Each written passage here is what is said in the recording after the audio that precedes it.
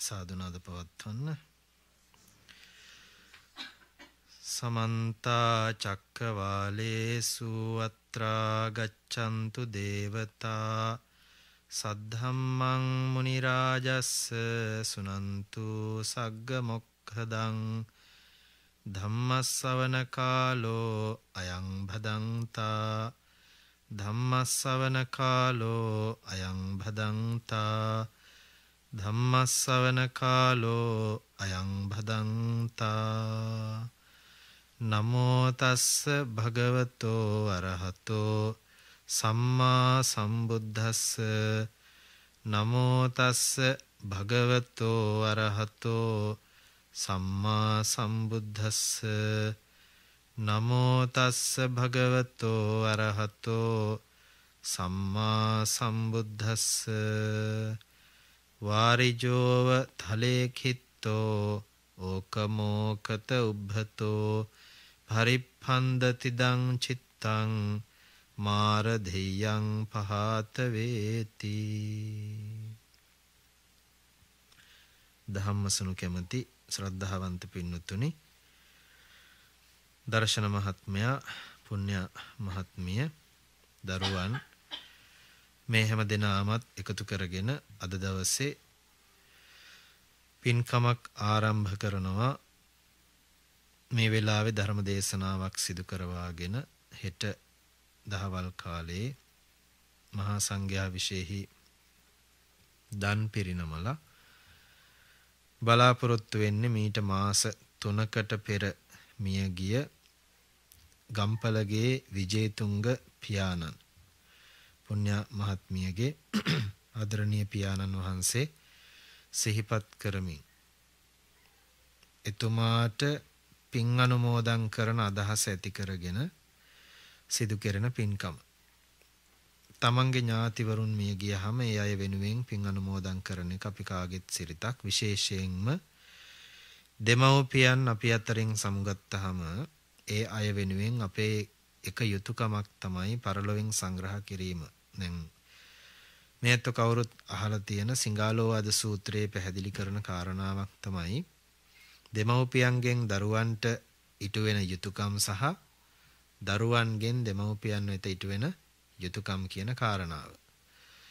දෙමව්පියන් විසින් තමන් හදන දරුවන් ඉස්සර වෙලාම කරන්න තියෙන පාපා නිවාරෙන්ති පවෙන් වළක්වන්න ඕන. කියන්නේ වැරදි දෙයින් ඉවත් කරන්න ඕනි පළමු කොටම. ඊට පස්සේ පවෙන් වළක්වල වැරදි දෙයින් ඉවත් කරා වගේම අපි විකල්පයක් දෙන්න ඕනි අයට ඒ තමයි කල්යාණේ නිවේසෙන්ති හොඳ දෙෙහි යොදවන්න ඕන. අපි කරන්න එපා කියනවා විතරයි කරන්න ඒවා කියන්නේ නෑනේ. හැමතිස්සෙම විකල්පයක් තියෙන්න ඕනි. එකක් එපා කියනකොට එයාට එකක් කරන්න තියෙන්න ඕනේ. ඊළඟට තුන්වෙනි එක තමයි සිප්පං සික්ඛාපෙන්ති. අකුරු ගන්නන්න ඕනි තුන්වෙනි එක විදියට. අපි අද කරන්නේ තුන්වෙනි එක ඉස්සර වෙලාම කරනවා හම්බ වෙන්නත් කලින් ඉඳන් කරදඬු උස්මහත් වෙලා දරදඬු වුණාට පස්සේ තමයි හොඳ නරක කියලා දෙන්න පටන් ගන්න. එතකොට අම්මා තාත්තලාත් ගහන මට්ටමට ඇවිල්ලා. ඒ වෙලාවට හදන්න බෑ. දිරච්ච නවන්න බෑනේ. එතකොට බුදුරජාණන් වහන්සේ මේකේ මේ process එකක් දේශනා කරලා තියෙන්නේ නිකන් නෙමෙයි බණ කියන්න ඕන නිසා නෙමෙයි කාරණාව කියලා තියෙන්නේ. ඉස්සර වෙලාම පුංචි කාලෙම අර අපි කියන්නේ මොකද්ද මේ නියපොත්තෙන් කඩන්න තියෙන දේ පොරවෙන් කපන්න මට්ටමට ඉන්න එපා කියනවනේ. ඒ වගේ පොඩි කාලෙම දරුවන්ට හොඳ දේවල් ටික දුන්නහම නරක දේවල් ටිකෙන් ඉවත් කරලා ඒගොල්ලන්ට අමුතුවෙන් අපිට ඇඟිල්ලෙන් එන යන්න දෙයක් නැහැ. ස්වභාවයෙන් හැදෙනවා. ඊළඟට එතන පෙන්නනවා විකල්පය නේ. දරුව වෙනුවෙන් අපි එපා කියනකොට කරන්න දෙයක් ඒගොල්ලන්ට තියෙනවා නේ හැමදේම එපා එපා කියලා තහනම් කරන එක තමයි අපි කරන්න පුරුදු වෙලා තියෙන්නේ. ඒක අපේ හැටි. ළඟදි දවසක් මේ එඩමන්ටන් වලදී සුදු නෝන කෙනෙක් කෙනවා ශ්‍රී ලංකන් සහ බොසී කියලා. ඇත්ත බොරු නෙමෙයි. අපි ටිකක් බොසී ගතිය වැඩි. ඕඩර් දෙන්නනේ අපි තියන්නේ හැමතිස්සෙම. කරන්න ඒවා කියන්නේ අපි. එතකොට ඒ අයට යමක් තියෙන්න ඕනි ළමයින්ට. ඊට පස්සේ සුදුසු කාලයේදී ආවා විවාහ කටයුතු කරලා දෙන එක දීපල ආදිය දෙනවා නම් ඒ දේවල් දරුවන්ට බෙදලා හදලා දෙන එක සුදුසු විදියට දෙමව්පියන් විසින් ඒවා කරන්න ඕනේ. කරාම නිදහසක් ඇති වෙනවා ඇත්තන්ට අපි දරුවන්ට කළ යුතු දේවල් ටික කරා ඊට පස්සේ දැන් අපිට නිදහසේ ඉන්න පුළුවන් කියලා. දැන් එහෙම ආපු දෙමව්පියන්ගෙන් ඒ ඒ විදියට ආපු වැඩිහිටියෝ ටිකනේ දැන් මේ ඉන්නේ. ඔය ඇත්ත වැඩිහිටියෝ වෙලා තියෙන ඔය ඇත්තන්ගේ දරු පරම්පරාවට වැඩිහිටියෝ වෙලා තියෙන්නේ. ඔය ඇත්තන්ගේ දෙමව්පියන්ගෙන් ආපු පරිසරයත් එක්ක. දැන් එහෙම ආපු දරුවන්ට දෙමව්පියෝ යුතුයකම් මිටු කරා ඊට පස්සේ තියෙනවා දරුවෝ විසින් දෙමව්පියන්ට කළ යුතු කොටසක් තියෙනවානේ. මහලු අම්මා තාත්තා බලා ගන්න ඕන. බලා ගන්නවා කිව්වම ළඟ ඉඳන්ම බලා ගන්නවා කියන කාරණාවම අදාළ වෙන්නේ ඒක කෙරෙන විදිහක් තියෙනවා. හැබැයි ඒකෙදි දැන් මෙහි යන රටාවක් තියෙන්න පුළුවන් සංස්කෘතිය අනුව වෙනස් වෙනවා හැඩවුරුකම්. සංස්කෘතිය අනුව හැඩහුරුකම් වෙනස් වෙනවා. ඒක ඉතින් අපිට ඒ සංස්කෘතියේ හැටියට වැඩ කරගන්න සිද්ධ වෙනවා. ගියතන හැටියටනේ වැඩ කරගන්න වෙන්නේ. ඊළඟට අම්මා තාත්තා විසින් කිසියම් දායාදයක් දුන්නා නම් ඒ දායාද විනාශ කරන්නේ නැතුව සුදුසු විදියට පරිහරණය කිරීම එකක්. ඒ අය විසින් කිසියම් කුල પરම්පරාවක් පවත්වාගෙන ආව නම් ඒක පවත්වාගෙන යෑම එකක්. විශේෂයෙන්ම දෙමව්පියෝ දැන් මේ පැතිවල ඉන්න දෙමව්පියෝ ටිකක් අදහස් වෙනස් වුණාට අපේ සංස්කෘතිය වල හැදිච්ච අයගේ වැඩිහිටිය අයගේ අදහස තමයි අපේ ළමයි අපේ නම්බුවත් අරගෙන යයි. ඊට පස්සේ අපේ දරුවෝ අපේ දේපල එහෙම අපි හදපු ආරක්ෂා කරගෙන යයි. ඒකනේ උරුමය විකුණනවට කැමති නෑනේ ඒ විදිහට පරිසරයක් තියෙන්නේ අපිට. එතකොට දැන් ඒක මෙහෙදි වෙනස්. ඒක වෙනම කතාවක්. නමුත් අපි හැදිච්ච පරිසර එහෙම එකක් අපිට තියෙන්නේ. ඒක තමයි කියන්නේ කුල પરම්පරාවල් ආරක්ෂා කරනවා කියලා. බ්ලඩ් ලයින් එකක් පවත්වන එක ඒගොල්ලොන්ගේ ලොකු බලාපොරොත්තුවක් නේ. ඊළඟට දරුවෝ විසින් දෙමව්පියෝ බලා ගන්න ඕනේ සුදුසු කාලෙදී ඒ වගේම මියගිය දෙමව්පියන්ට පරවල පරලව සංග්‍රහ කිරීම දරුවන්ගේ යුතුයකමක්. සමහර අම්මලා තාත්තලා මම දැකලා තියෙනවා මට මෙහෙදිත් හම්බ වෙලා තියෙනවා US වල කැනඩා දෙකේදිම මේ හාමුදුරුවනේ දානේ වෙලාවට මතක වස්ත්‍රයක් ජීව මතක වස්ත්‍රයක් පූජා කරගන්න පුළුවන්ද කියලා අහනවා. ජීව මතක වස්ත්‍රය කියන්නේ ජීවත් වෙන කෙනා විසින්ම මැරෙන වෙලාවට මතක් කරගන්න තමන් විසින් මතක වස්ත්‍රයක් පූජා කරගන්නවා. ඒක මේ පස්සේ හදාගත්තු සංස්කෘතියක්. මතක වස්ත්‍රය කියන්නේ පාංශුකුල අවස්ථාවේ පූජා කරන ඒ රෙදිවලටනේ. ජීව මතක වස්ත්‍රය කිව්වේ ජීවත් වෙලා ඉන්න කාලේ තමන් විසින්ම මතක වස්ත්‍රය තමන් වෙනුවෙන් පූජා කරගන්නවා. ඒකේ ඉතින් හැංගිච්ච අදහස තමයි අපේ උන් අපිට කරන එකක් නෑ කියන අදහස. මැරුණට පස්සේ අපේ ළමයි අපිට පිං දෙන එකකුත් නෑ කියන අදහසක් තියෙනවා නම් දෙමව්පියෝ ඒව කරගන්නවා. එයි අපි යන්න දේවල් ගෙනියන දේවල් සූදානම් කරගන්නවා ඒගොල්ලෝ. අපිට දෙමව්පියන්ට කරන්න තියෙන යුතුයකමක් තමයි ඒ අයගේ බලාපොරොත්තු ඉෂ්ට කරන එක. ලොකු දේවල් නෑනේ. ඒ අයට පින් අනුමෝදන් කරන දේවල් ඒවා සාමාන්‍යයෙන් අපිට කරන්න පුළුවන් දේවල් නේ. පින් අනුමෝදන් කරන මහා පරිමාණ දන් සූදානම් කරන්න ඕනේ නෑ. පොඩි පොඩි දෙයකින් ඒක කරන්න පුළුවන්. දැන් අපේ දෙමව්පියෝ සතුට වෙන පොඩි පොඩි තැන් ටිකක් තියනවා නේද? ඒ ටික ඉෂ්ට කරලා දුන්නා නම් ඒගොල්ලන්ට දිව්‍ය මාලිගා පහළ වුණා වගේ තමයි වෙන මොකුත් ඒගොල්ලෝ ඉල්ලන්නේ. ඒගොල්ලෝ ඉල්ලන්නේ ඔයත් උන්ගේ බෙන්ස් ඉල්ලනවද? නෑනේ. මාලිගා ඉල්ලන්නේ නෑනේ. ඉල්ලන්නේ අපි ඇවිල්ලා බලලා ඵලයන් කියනවානේ. මුණුපුර මුණුවිරිය ටික පෙන්නපන් කියනවානේ. ওই ටිකනේ තියෙන්නේ. ඉතින් ඒ ටික දෙන්න පුළුවන් දේවල් ටික දුන්නහම හරි ඒකෙදි කියනවා මේ යුතුයකම් ඉටු කරනවා කියලා ඒකට කියන්නේ මිය ගිය අය වෙනුවෙනුත් එතකොට අපි පින්කම් කරලා පින් අනුමෝදන් කරන එක ඥාති යුතුයකමක් විදියට ගන්නෙ. මොකද දැන් තමන්ගේ අම්මා තාත්තා වෙනුවෙන් තමන් පින් අනුමෝදන් කරන්නේ වෙන කවුරුත් කරන්නේ නැහැ. අල්ලපු ගෙදර මිනිස්සු කරයි කියලා බලාගෙන ඉන්න බෑනේ අපිට. එතකොට තමන්ගේ උදවිය තමන්ගේ කම කියන්නේ ඒකටනේ. අපේ කම තමන්ගේ කම කියන්නේ ඒකට. අපේ එකෙකුට මොකද්ද වෙලා කියලා යන්න කියලා කතා කරන්නේ නේද? ඒ කියන්නේ අපේකම හැදෙන්නේ එහෙමයි. කොහොම වුණත් අපි කාටත් මේ අපේ වර්ගයේ කියන හැඟීම හිත ඇතුලේ තියන් තමයි අපි කවුරුත් වැඩ කරන්නේ. ඒක තමයි අර ගති අපේ හැටි. ඒක කාටත් එහෙමයි. එතකොට අපි අපේ අය වෙනුවෙන් යුතුයකම් ඉටු කරන ඥාති සංග්‍රහ කිරීම සුබ හොඳ කටයුත්තක් විදිහට බුදුරජාණන් වහන්සේ දේශනා කරන්නේ ඇයි? සමාජ සංස්ථාව ප්‍රශ්නයකින් තොරව ගැටලුවකින් තොරව රණ්ඩු සරුවල් නොවි එකිනෙකා කෙරෙහි ගෞරව කරමින් සුහදශීලීව යන්න පුළුවන්කම තියෙන නිසා. පුත්තදාරස සංඝහෝ කිව්වේ අඹදරු පෝෂණය කරමින් ධාර්මිකව යන්න පුළුවන්කම තියෙන නිසා. ඥාතකානංච සංග්‍රහකවේ ඥාතීන්ට සංග්‍රහ කිරීම. ඥාතීන්ට සංග්‍රහ කිරීම කියන්නේ උපන්දිනේට හරි ඇනිවර්සරි එකට හරි පාටියක් දෙන එක නෙමෙයි. ඒකේ එකක්. ඥාති වෙනුවෙන් යුතුයකම් ඉටු කරනවා කිව්වම සල්ලි ගෝණි ගණන් ගිහිලා බෙදෙන එකක් නෙවෙයි. ඒ අයගේ දුකට සැපට බලන එක. අවශ්‍යතාවයේදී සැපට කෙසේද දුකේදී බලන එක. සැපේදී බැලුවේ නැතත් දුකේදී බැලුවා කියන හැඟීමක් එනවනේ මිනිස්සුන්ට.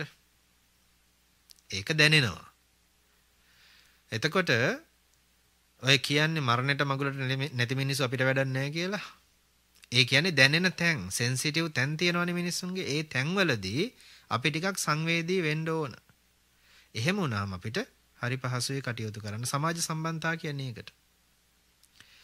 එතකොට කෙනෙක්ගේ දුකක් කනගාටුවක් ආරංචි වුණාම පොඩ්ඩක් කතා බහ කරලා මොකද වුනේ කියලා ඇහුවනම් ඇති ආයෙ වෙන මොකුත් ඕනේ එතකොට ඒගොල්ලෝ දන්නවා මේගොල්ලෝ අපිත් එක්ක පොඩ්ඩක් අපි බලන්න. ඉන්නවා අර සමාජයේ අසරණ වෙන බවක් දැනෙනව නේද මිනිස්සුන්ට සමහර වෙලාවට? අන්න ඒ ගතිය නැති වෙන්න තමයි අපි ඒ ආයත් එක්ක ඉන්නේ. මේ බණ භාවනා කරා කියලා ඒව නැති කරගන්න දෙන්නේ අපිට. බණ භාවනා කරන මිනිස්සුන්ට සමාජයේ ඉන්න අනිත් අය ගැන කරුණාව මෛත්‍රිය ගොඩක් තියෙන්න ඕන කරුණාව මෛත්‍රිය ගොඩක් තියෙන්න ඕනේ. ඒ අයගේ දුකේදී සැපේදී හොයලා බලන්න ඕන. එතකොට තමයි ඒ අයටද අපේ කරුණාව මෛත්‍රිය පේන්නේ. මේක ප්‍රැක්ටිකල් වෙන්න එපා. එතෙන්ට අපි යන්න ඕනේ. මේක තමයි manussකම කියන එක ගන්නෙ සහ manussකම කියන එක කියන්නේ. ඉතින් එහෙම ගත්තහම අම්මා තාත්තා වෙනුවෙන් යුතුයකම් ඉටු කිරීමත් දෙමව්පියන් විදියට යුතුයකම් ඉටු කිරීමත් ධර්මයේ බුදුරජාණන් වහන්සේ දේශනා කරා හොඳට මතක තියාගන්න දැන් මිසිංගාල කියන සිටු පුත්‍රයා ඇවිල්ලා බුදුරජාණන් වහන්සේත් එක්ක කතා කරනකොට එතනේ සිද්ධියේදී පැහැදිලි වෙන්නේ ආර්ය විනය තුල මෙන්න මෙහෙමයි යුතුයකම් මිටු කරන්න කියන එකයි. බණ භාවනා කරා කියලා අපිට අම්මා තාත්තට තියෙන යුතුයකම් ටික නවත්තන්න බෑ. දූ දරුවන්ට තියෙන යුතුයකම් නවත්තන්න බෑ. රටේ ලෝකෙ තියෙන යුතුයකම් නවත්තන්න බෑ. ඒවා අතෑරලා මහානකම් කරනවා හෝ මේ යුතුයකම් කරන්නේ කියන සමාජය අතාරිනවා කියන එකක් නෙවෙයි තියෙන්නේ. භික්ෂුන් වහන්සේලාට පවා දුකටපත් වුණු අම්මා තාත්තා වෙනුවෙන් බලන්න බුදුරජාණන් වහන්සේ දේශනා කළා තියෙන නේකුත් වාරවල. වස් සමාදන් වුණාට පස්සේ මුල්ම කාලේ භික්ෂුන් වහන්සේලාට යන්න අවසර තිබුණේ නැහැ. අම්මා තාත්තා බලන්නවා. හැබැයි සමහර වෙලාවට අම්මා තාත්තා අසනීපෙන් කියලා ඥාති දැනුම් දෙනවා. ඉතින් තම තමන්ගේ උදවියට කතා කරලා කියනවනේ. දැනුම් දුන්නාම ආමුදුරන්ට යන්න නියමයක් නැහැනේ වස් කාලේ. අපිට එන්න විදිහක් නැහැ යන්න බෑ කියලා පණිවිඩය යවනවා. ඊට පස්සේ ඥාතියෙක් ඉදලා බනින්න පටන් ගන්නවා. ලෙඩ දුකටවත් බලන්නේ කියලා. ඊට පස්සේ දැන් අම්මා තාත්තා වෙනුවෙන් යන්න කියලා කිව්වා. ඊළඟට සහෝදරයන්ට යන්න එපා කිව්වා. සහෝදරය වෙනුවෙන් යන්න ඕනේ අම්මා තාත්තා වෙනුවෙන් යන්න ඕනේ. අදටත් සහෝදරය වෙනුවෙන් යන්න කියලා නැහැ. ඊට පස්සේ දායකයෙක් පන්සලක් හදලා කතා කරලා කිව්වා මේක බාර ගන්න කියලා මේක පූජාවට එන්න කියලා පන්සල් පූජාවට. යන්න එපා කියලා තියෙන නිසා යන්න බෑ. ඒ අම්මා තාත්තා වෙනුවෙන් විතරනේ යන්න කියලා තියෙන්නේ. බැනලා පණිවිඩයක් කියවුවා. අපි දායකයෝ අපි කරනවා අපේ වට එන්නේ කියලා. ඊට පස්සේ එහෙනම් දායකෙක් කුළුපග තමන්ගේ හිතවත් දායකයෙක් ආරාධනාවක් කළොත් වස් කාලේ ඒ කටයුත්තට ගිහිල්ලා ඉන්න කියලා කිව්වා. ඉතින් එන්න ඒකත් ආවා. එහෙම එහෙම එහෙම එහෙම හැදිලා තියෙන. ඒ කියන්නේ සමාජයේ ඉන්නකොට තියෙන සම්බන්ධතා ටිකක් තියෙනවානේ. ඒවා නැතුව අපිට සමාජෙත් එක්ක ඉන්න බෑ. සමහරලාට අපි කතා කරන්නේ ආයේ මිනිස්සු හිටියට නිකන් නෑ වගේ එන්නේ නෑ කිසිම දෙයකට කියලා එහෙම කියනවා නේද? ඇයි ඒ? මිනිස්සුත් එක්ක ඉන්නවනම් මිනිස්සුත් එක්ක ඉන්න ඕනේ. එහෙම නැත්තම් අයින් වෙලා යන්න ඕනේ. ඒක තමයි සාමාන්‍ය ස්වභාවය වෙන්නේ නේ. එතකොට අපිට සමාජයේ සම්බන්ධතාව පවත්වනකොට බුදුරජාණන් වහන්සේ දේශනා කරේ ආර්ය විනය තුල ඒ කියන්නේ මේ ධර්මය තුල හැසිරෙන මිනිස්සු මෙන්න මෙහෙමයි යුතුයකම් කරන්නේ. දෙමව්පියන්ට දූදරුවන්ට මහන බමුණන්ට දායකයන්ට ගුරුවරුන්ට ශිෂ්‍යයන්ට යාළු මිත්‍රයන්ට සමාජයට මෙන්න මෙහෙම යුතුයකම් ටිකක් තියෙනවා කියලා ඉගන්වුවේ. සමාජයේ මනා සම්බන්ධතාවයක් ගොඩනැගෙන්න ඕන නිසා. අන්තවාදී වැඩපිළිවෙලක් බුදුහාමුදුරු දේශනා කළා නෑ. සමාජයේ හැම පැත්තකටම ඊක්වලි බෙදිලා යන්න පුළුවන් වැඩපිළිවෙලක් බුදුහාමුදුරු දේශනා කළේ. අපි ඒක කොනකින් අල්ලගෙන දඟලනවා. එහෙම සුදුසු නැහැ. එතකොට වෙන්නේ අන්බැලන්ස් වුණාම හැමතිස්සෙම ප්‍රශ්නයක් නේද? අපේ දේවල් සමබර නොවුනහම කොයි වෙලාවෙත් ප්‍රශ්නයක්. දැන් හිතන්නකෝ මේ මහත්තයා වැඩිපුර බණ භාවනා කරනවා නෝන නැහැ. නෝන විරුද්ධයි. එක කරන්නෙම නැහැ. මොකද්ද වෙන්නේ? තරාදියේ පැත්තක් යට යනවා උඩ යනවා. දෙන්නම එකතු වෙලා ඒ වැඩේ කරනවනම් ටික ටික සමබර වෙනවානේ. එහෙම එහෙම පරිසරයක් හැදෙන්න ඕනේ නැද්ද අපිට? තියෙන්න ඕනේ. දෙමව්පිය දූ දරුවෝ අතරත් එහෙමයි. පරිසරය හැමතිස්සෙම සාමකාමී වෙන්නේ ඊක්වලි යනකොට. එතෙන්ට අපිට තියෙන්න ඕනි දැනුමට වැඩිය ස්ථානෝචිත ප්‍රඥාවයි නුවණ තියෙන්න ඕනි. දැනුමෙන් ඕක කරන්න බෑ. දැනුම ඕනේ සමාජයේ හැසිරෙන්න. හැබැයි ප්‍රඥාව තියෙන්න ඕනේ. ඒ විදිහට අපිට පරිසරය හදා ගන්නකොට මම මාතෘකාවට ගන්නේ දැන් බුදුරජාණන් වහන්සේගේ තව දේශනාවක් තියෙනවා වයසට ගිය අම්මා තාත්තා අවුරුදු 100ක් ජීවත් වෙනවා නම් ඒ දෙන්නව උරහිස් දෙකේ තියාගෙන නාවමින් කවමින් පොවෙමින් උදේ හවස පෝෂණය කළත් ඒ අයගෙන් අපි ගත්තු ණයෙන් නිදහස් වෙන්න බෑයි කියලා. අම්මා තාත්තගෙන් ගත්තු ණයෙන් අම්මගෙන් බීපු කිරිවලි ණයෙන් නිදහස් වෙන්න බෑ කියලා අපි කතා කරනවානේ. දැන් මේක ගෙවල ඉවර කරන්න බැරි ණයක් විදියට තමයි කතා කරන්නේ. අම්මා කිරි දෙනවා කියලා කිව්වේ ඇගේ රුධිරය තමයි කිරි බවට පත් වෙන්නේ. ඒක තමයි විද්‍යාවෙන් ඔප්පු කරගන්න බෑ බුදුහාඳුරන්ගේ දේශනාවක් තියෙනවා. මව් කිරි දෙනවා කියන එක ධර්මයට අනුව කතා කරන්නේ රුධිරය දෙනවා කියන එකයි කියන එකයි අදහස් කරන්නේ. එතකොට අම්මාගේ සෙනෙහසට ලේ කිරි වෙනවා කියන එක තමයි අදහස තියෙන්නේ කතා කරන්නේ ඕක තමයි එක ඉතින් ඔය නලවලට දාලා හොයන්න බැරි විද්‍යාවක් ඒක. ඒක සෙනෙහසත් එක්කෙන එකක්. ඒ නිසා දැන් එහෙම ගත්තු ණය සමහර විට තාත්තලා අම්මලා අපිව වැදුවා විතරක් වෙන්න පුළුවන්. ඒකත් ලේසි කාරණාවක් නෙමෙයිනේ. ඒකත් ලේසි වැඩක් නෙමෙයි. එයටද සලකන්න ඕනේ. මොකද මිනිස්සෙක්ගේ පුංචි හරි දෙයක් තියෙනවා නම් අපිට වෙච්ච ඒ දෙයට අපි සලකන්න ඕනේ නේ. ගුණයක් තියෙනවා නම් සලකන්න වෙනවනේ. එහෙම අරගෙන යම් දරුවෙක් අම්මා තාත්තා වෙනුවෙන් අවුරුදු 100ක් ජීවත් වෙනවා නම් ඒ අයව උරහිසේ තියාගෙන නාවමින් කවමින් පවමින් කාලයක් අප උපස්ථාන කළත් ගත්තු ණයෙන් නිදහස් වෙන්න බෑ කියලා දේශනා කරනවා. දැන් එතකොට මොකද වෙන්නේ? ණයකාරී විදිහට රහත් වෙන්න වෙන්නේත්. මැරෙන්න වෙන්නේ. රහත් උනත් ණය තියෙන්න පුළුවන් එහෙම උනොත්. ඊළඟට නැවත දේශනාවක් තියෙනවා අම්මා තාත්තාගෙන් ගත්තු ණයෙන් නිදහස් වෙන ක්‍රමයක් තියෙනවා.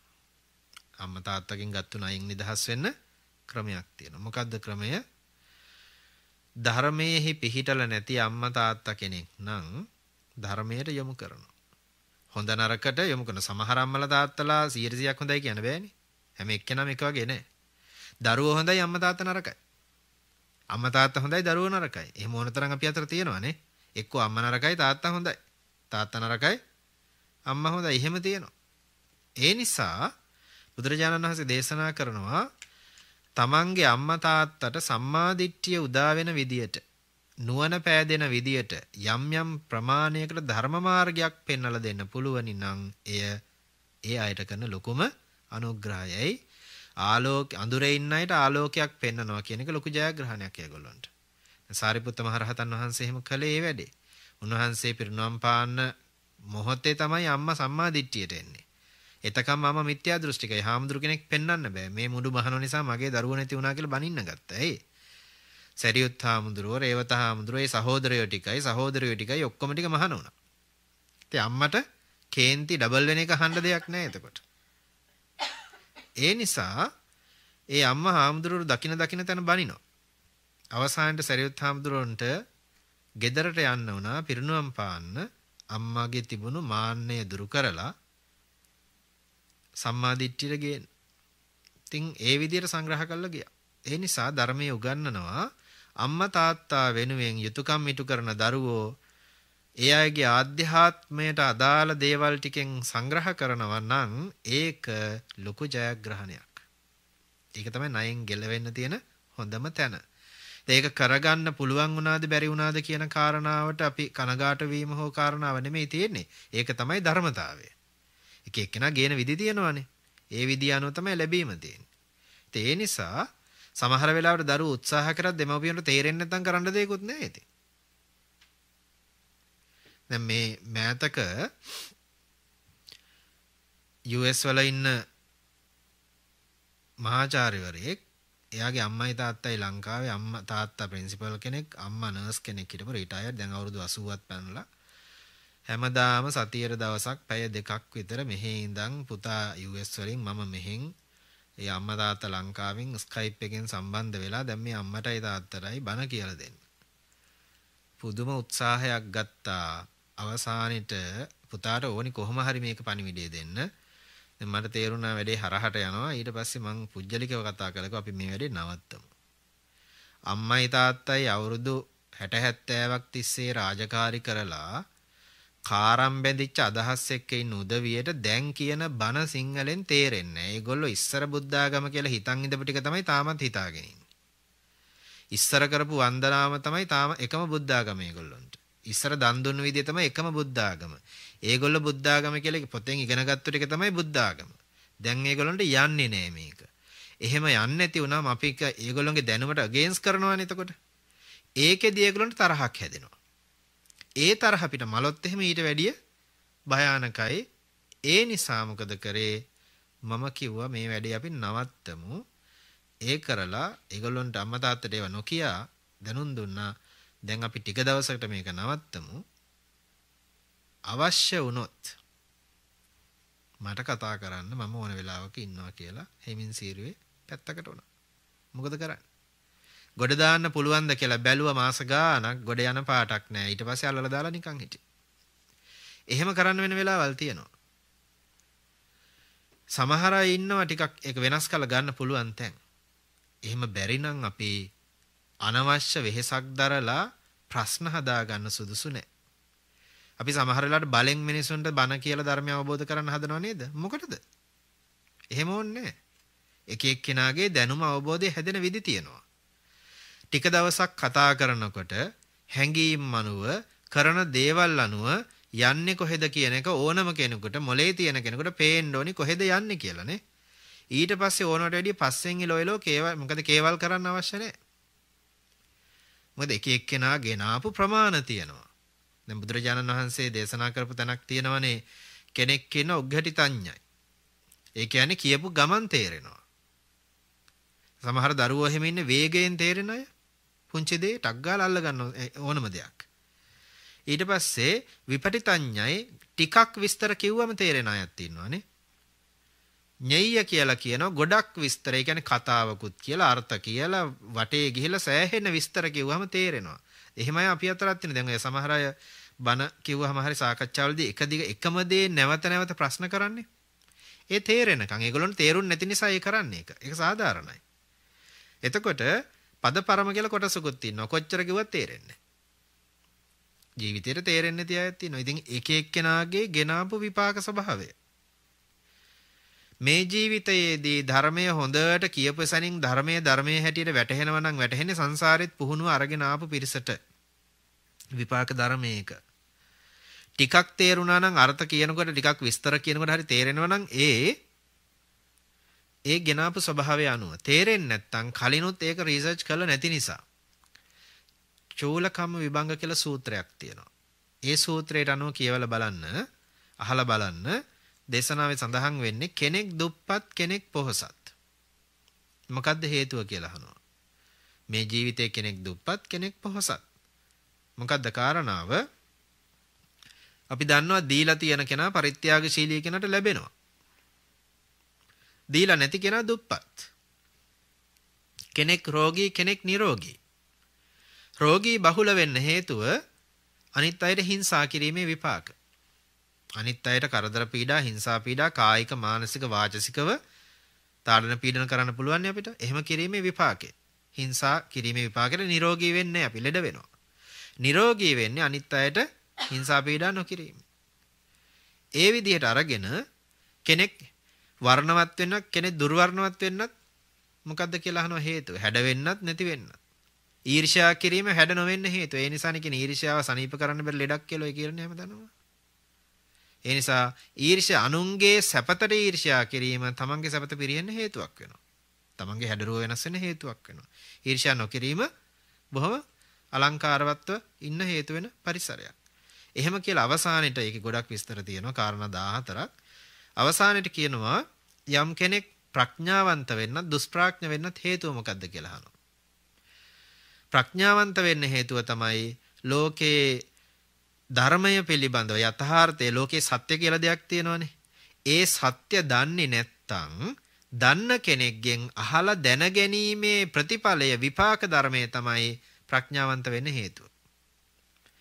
තමන් සත්‍ය දන්නේ නැත්තම් දන්න කෙනෙක්ගෙන් අහලා දැනගන්නේ නැත්තම් ඒක තමන් දුෂ්ප්‍රඥ වෙන්න හේතුවක් වෙනවා. ඒක කර්ම විපාකයක් විදියට හැදෙනවා. ඒක මට ඔප්පු කරන්න පුළුවන් එක පැත්තක් මෙහෙම තියෙනවා. ඉතින් අද වෙනකොට විවිධ හේතු තියෙන්න පුළුවනි. ඒ හේතු මේ කියන ඒවා හැම එකක්ම හැම එක්කෙනාටම එකම විදිහට සාධාරණ නැහැ. නැත්තම් මේ එක මච්චුවෙන් ගන්න එපා කියන ඒවා හැම එකක්ම එක තැනකට. මේ සමහර වෙලාවට අපි හිතමුකෝ දැන් බණක් අහන්න එහෙම තියෙනවා නම් හේතු හදාගෙන ඕන්නම් යන්නත් පුළුවන් නොයන්නත් පුළුවන් නේද? දැන් අද ඕන්නම් වැස්ස හේතුවක්නේ. අද දවසේම වැස්ස. ඕන්නම් නැවිලෙන්න තිබ්බ නේද? හේතු මේ කියන්නේ වැඩේ ලේසියෙන්ම තියෙද්දි වැස්ස නිසා නොගිහින් ඉන්නවා. දැන් බණ අහන්න තියෙන කියලා වැස්ස නැවතුණාද? නෑනේ. වැස්ස නැවතුන්නේ බණ අහන්න තියනවා කියලා. හැබැයි අපි නවතිනව නේද වැස්ස නිසා? ඒක හේතුවක්. එහෙම හේතු වෙලා අපි ප්‍රශ්න හදාගෙන කරන්න තියෙන එක නොකර ඉන්න බලනව නේද? ඒකෙන් වෙන්නේ අර දේවල් අපෙන් ඈත් වෙනවා. ඔගේ කර්ම විපාකයේ කතා කරනකොට හරි ලස්සනයි. කරන්න තියෙන දෙයක් මොනවා හරි හේතුවකින් මගාරිනවා කියන්නේ නොකර ඉන්න තියෙන කැමැත්තනේ. එයාට කර්ම විපාකේ එන්නේ මොකද්ද ඊට පස්සේ අරක නොකරන්නම හිත හැදෙනවා. ඉපදෙන්නෙම පන්සලේ අල්ලපු වැටේ හිටියත් පන්සල් යන්න හිතෙන්නේ නැති විදියට. කර්ම විපාක හැදෙන්නේ එහෙම. එතකොට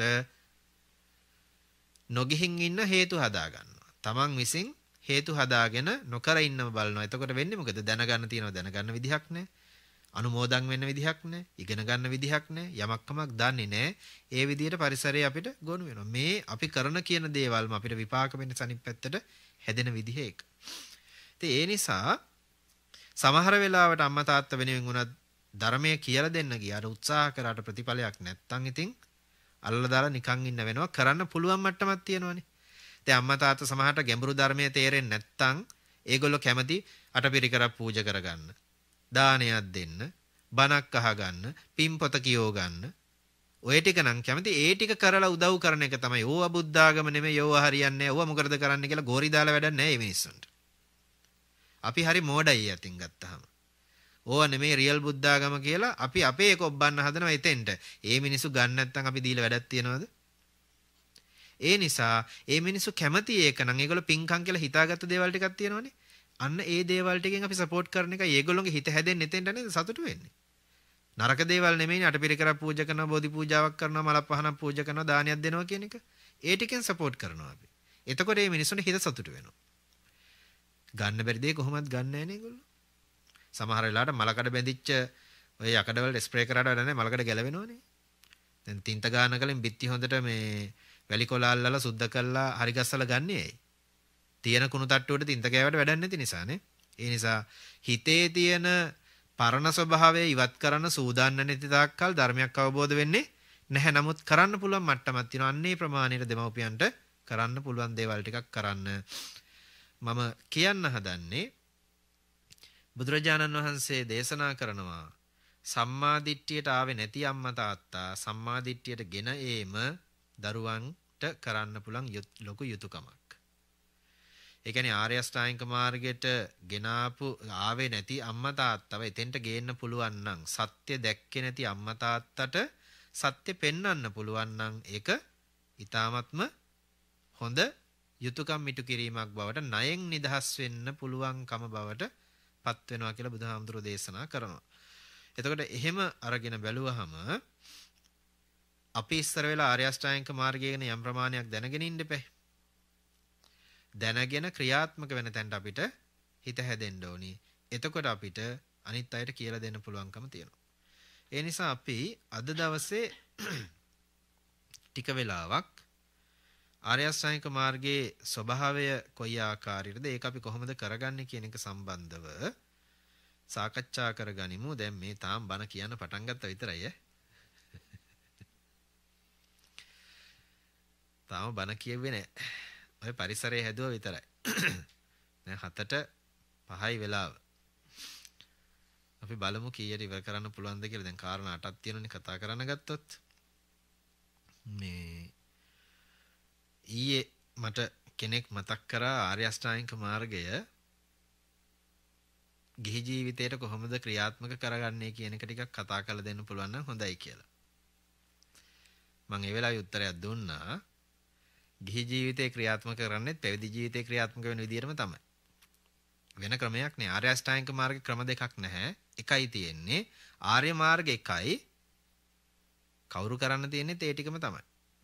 කරන විදිහේ වෙනසක් නැහැ. කරන්න තියෙන ක්‍රමේ වෙනසක් නැහැ. දැන් අපිට පාරක් පෙන්නුවොත් මෙතන ඉඳන් මේ අසවල් කෙළවරට යන්න මේ පාරයි තියෙන්නේ කියලා කවුරු යන්නත් ඕනේ ඒ පාරෙම තමයි. ඒකට වෙන විකල්ප නැහැ. අඩු වැඩි කරන්න බෑ.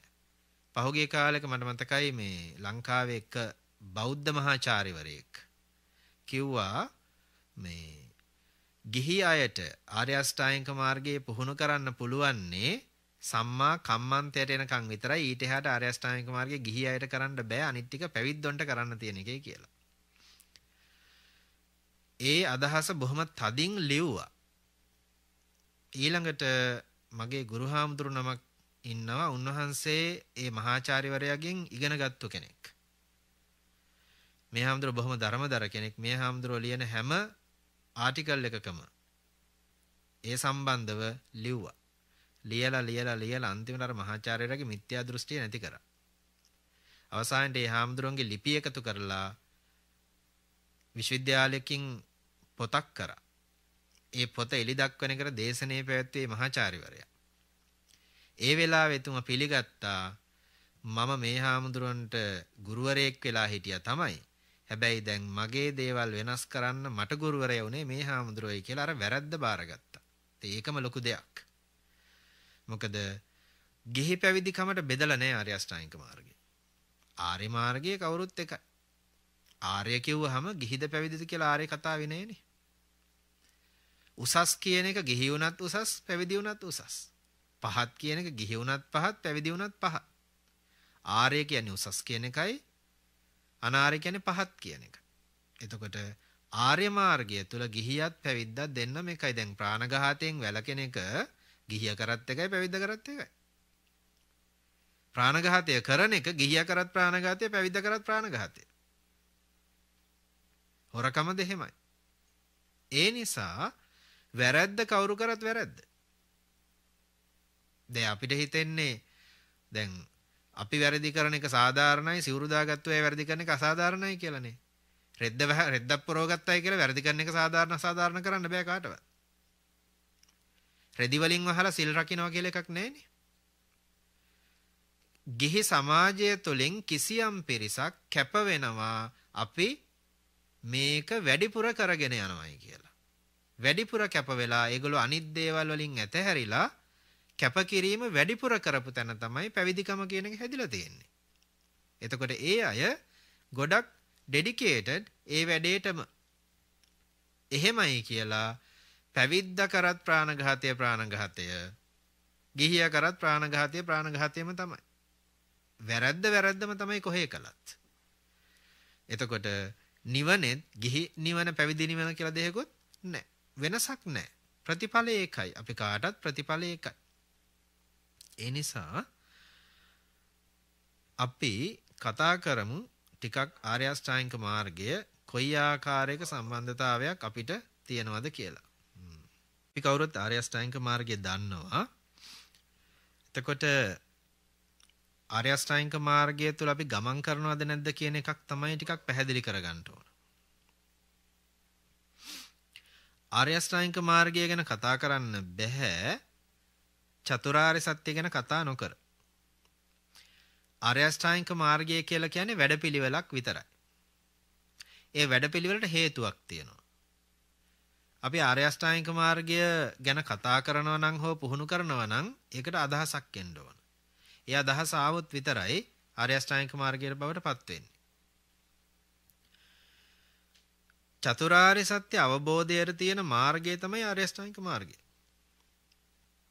වෙන මොකටවත් නෙමෙයි ඒක තියෙන්නේ. අපි චතුරාර්ය සත්‍ය වෙනම පාඩමක් කරනවා. ආර්ය අෂ්ටාංගික මාර්ගය වෙනම පාඩමක් කරනවා. බොජ්ජංග ටික තව පාඩමක් කරනවා. ඉන්ද්‍රිය ධර්ම තව පාඩමක් කරනවා. බල ධර්ම තව පාඩමක් කරනවා. සතර සතිපට්ඨාන වෙනම පාඩමක් කරනවා. ඔය ඔක්කොම එකයි. ඔය ඔක්කොම එකම ධර්මතාවයක් විවිධාකාරයට පැතිගානකින් විස්තර කරලා තියෙනවා. අපි කරන්නේ කෝසස් කරන්න පටන් ගන්නවා ඒවට. එහෙම එකක් නෑ ධර්මයේ. කොහෙන් කරත් හම්බ වෙන්නේ එකම දේ. ආර්ය අෂ්ටාංගික මාර්ගය තුල සතර සතිපට්ඨානය කතා කරලා තියෙනවා. ආර්ය අෂ්ටාංගික මාර්ගය තුල ඉන්ද්‍රිය ධර්ම කතා කරනවා, බල ධර්ම කතා කරනවා. ඒ එකක්වත් අපි වෙන්කොට අරගෙන පාඩම් වශයෙන් කරනවා කියන එකක් නෙවෙයි තියෙන්නේ. සියල්ල එකට කැටි කරලා යන්න තියෙන මාර්ගය ආර්ය අෂ්ටාංගික මාර්ගය. එතකොට ඒක පැහැදිලි කරගෙන අපි සාකච්ඡා කරගන්න බලමු කොයි ආකාරයටද අපිට ඒක පුහුණුවකට ගන්න තියෙන්නේ කියලා. ආර්ය අෂ්ටාංගික මාර්ගයේ මුලට එන්න කලින් මම කැමති සම්මා දිට්ඨියේ ස්වභාවය ටිකක් කතා කරන්න. මොකද සම්මා දිට්ඨියේ හැඩ දෙකක් තියෙනවනේ. සම්මා දිට්ඨිය දෙකකට බෙදුවා. කොහොමද? සම්මාදිට්ඨිය ලෞකික සම්මාදිට්ඨිය සහ ලෝකෝත්තර සම්මාදිට්ඨිය කියලා දෙකක් තියෙනවා. ලෞකික සම්මාදිට්ඨිය කියන්නේ මේ ගත කරන සාමාන්‍ය ජීවිතය තුළ ඇති කරගන්න අවදිමත් බව දැකීම. ලෝකෝත්තර සම්මාදිට්ඨිය කියන්නේ නිර්වාණය ඉලක්ක කරලම තියෙන සම්මාදිට්ඨිය. අපි දැන් ඔය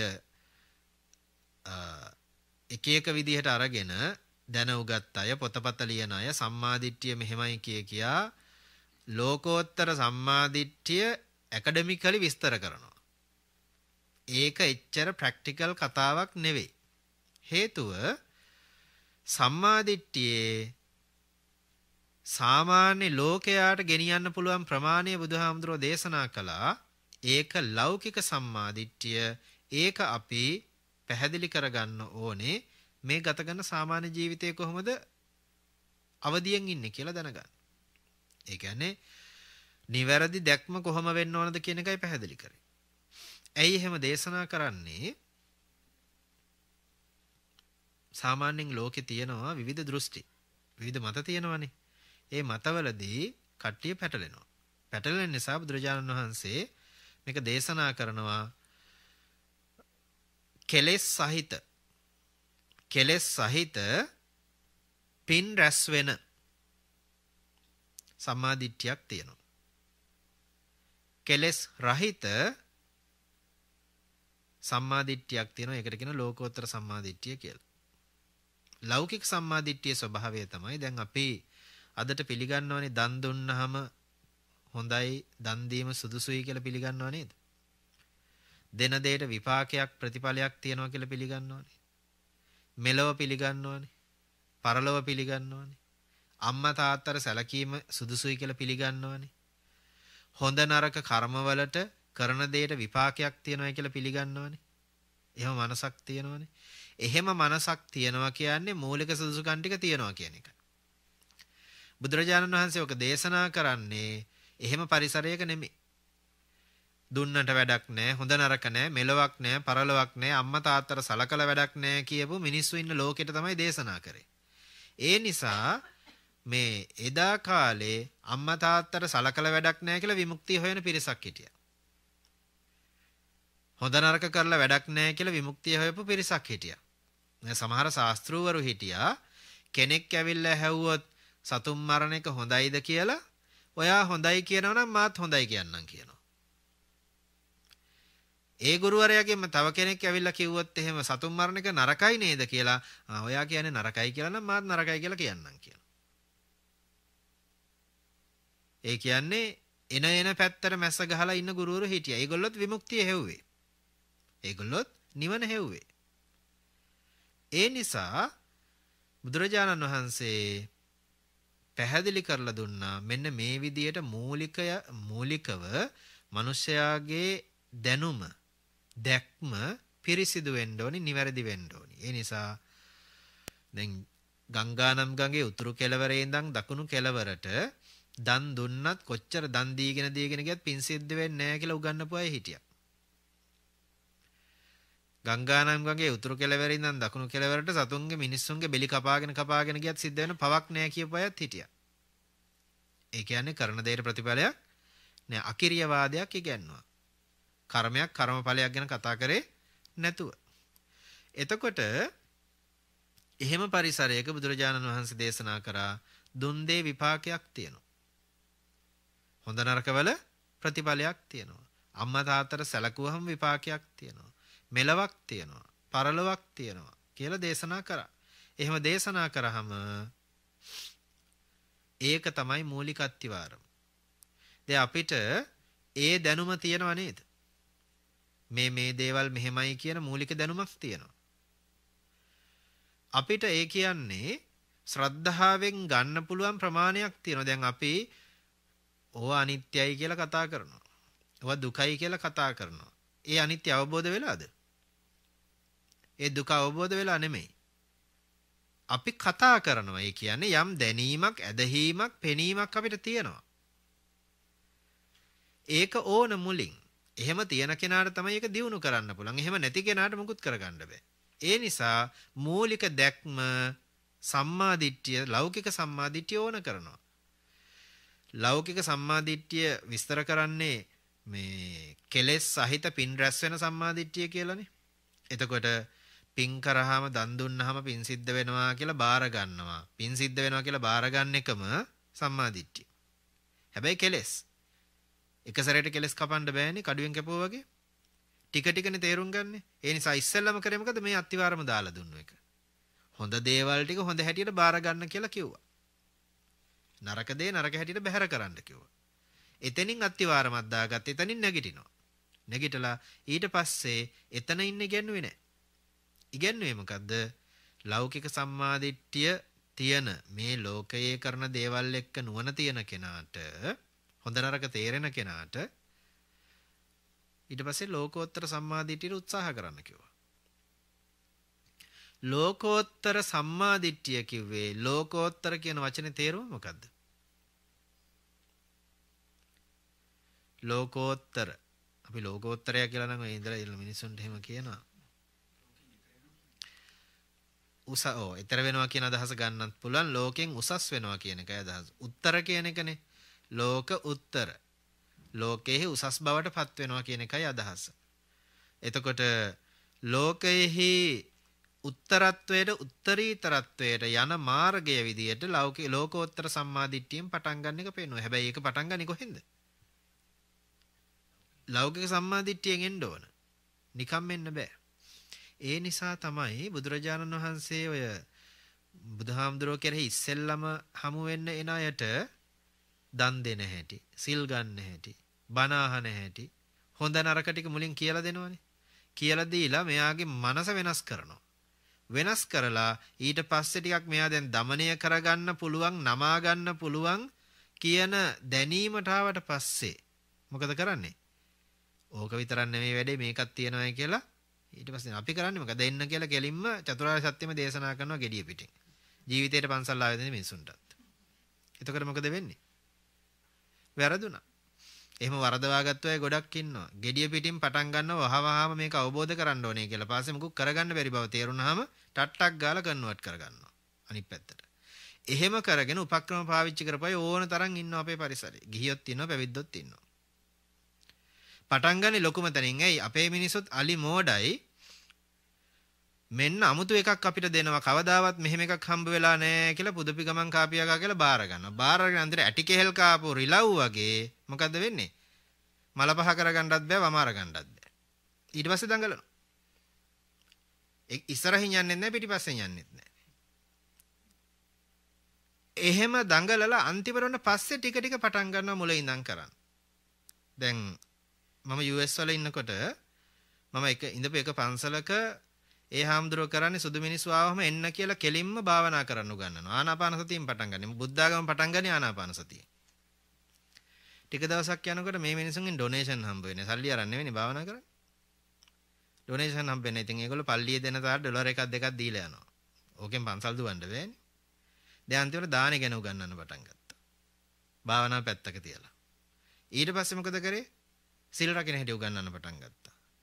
ඕව කර කර යනකොට අන්තිමට දැන් සුදු අය කන්ෆියුස්. ඇයි? ඉස්සෙල්ලා භාවනා කරපන් කිව්වා දැන් කියන දන් දීපන් කියලා. ඊට පස්සේ කියන සිල් රැකපන් කියලා. කවදාවත් පන්සිල් දීලා නෙමෙයි භාවනා වැඩසටහන පටන් ගත්තේ. පන්සිල් දෙන්න ඕනේ බලෙන් ඒගොල්ලොන්ට. හැබැයි කියන්න ඕනි මෙන්න මේ ප්‍රතිපදාවක ඉඳගෙන තමයි මේක කරන්නේ. මේක තමයි අපේ අත්තිවාරම කියලා. එහෙම යනකොට දවසක් කෙනෙක් ප්‍රශ්න කරාම මං කිව්වා ඉතින් ඔයගොල්ලෝ ඔළුවෙන් හිටගෙන ඉන්නේ. පටන් ගත්තේ ලොකු එකෙන්. දැන් පොඩි ඒවා කර කර ඉන්නවා. පටන් ගත්තේ චතුරාර්ය සත්‍ය අවබෝධ කරන්න දැන් මල් පහන් පූජා කර කර ඉන්නවා. ඕක තමයි අපිට පැටලෙනවා කියලා කියන්නේ. බුදුරජාණන් වහන්සේගේ ශාසනය කියන්නේ හරියට මහ මුහුද වගේනේ. මහ මුහුදේ වෙරළ හරිම පැහැදිලි. ගැඹුරු නෑ. පුංචි තැනින් පටන් අරන් ස්ටෙප් බයි ස්ටෙප් තමයි ලොකු තැන දක්වා යන්නේ. gediya පිටින් ලොකු තැනින් පටන් ගත්තාම අපිට උන් හිටි තැන් අමතක වෙනවා. ඊට පස්සේ ඉතින් අරව නිවැරදි කරන්න සෑහෙන මහන්සියක් දරන්න ඕනනේ.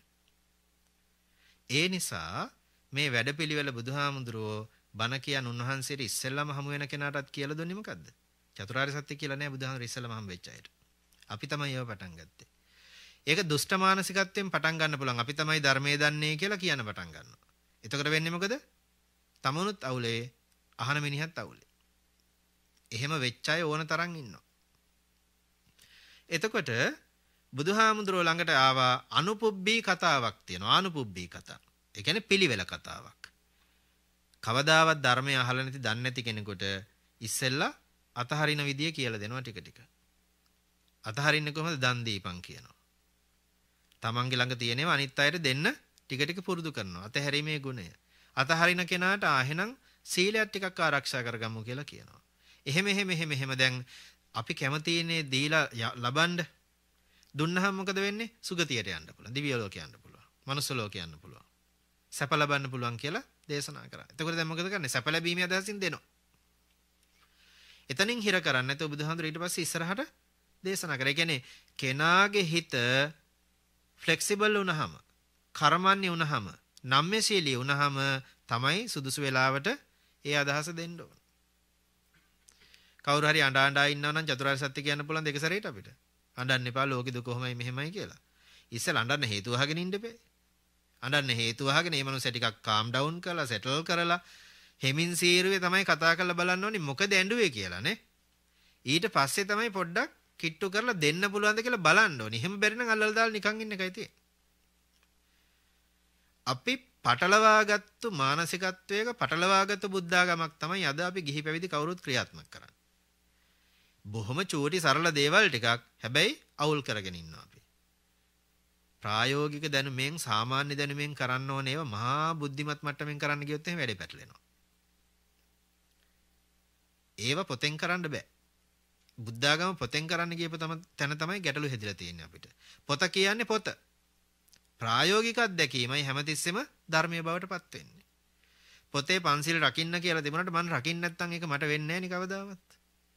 පොතේ රකේ තියෙන එක තිබ්බත් මම රැක්කොත් විතරයි මට පන්සිල් පන්සිල් හැටියට එන්නේ. ඒ නිසා අපිට බුදුහාමුදුරෝ දේශනා කරපු පිළිවෙල හරිය වැදගත්. ඒ නිසා ලෝකෝත්තරත්වය පෙන්වන්න කලින් ලෞකිකත්වයේ හොඳින් ඉඳපල්ලා කියලා බුදුහාඳුරෝ දේශනා කළේ.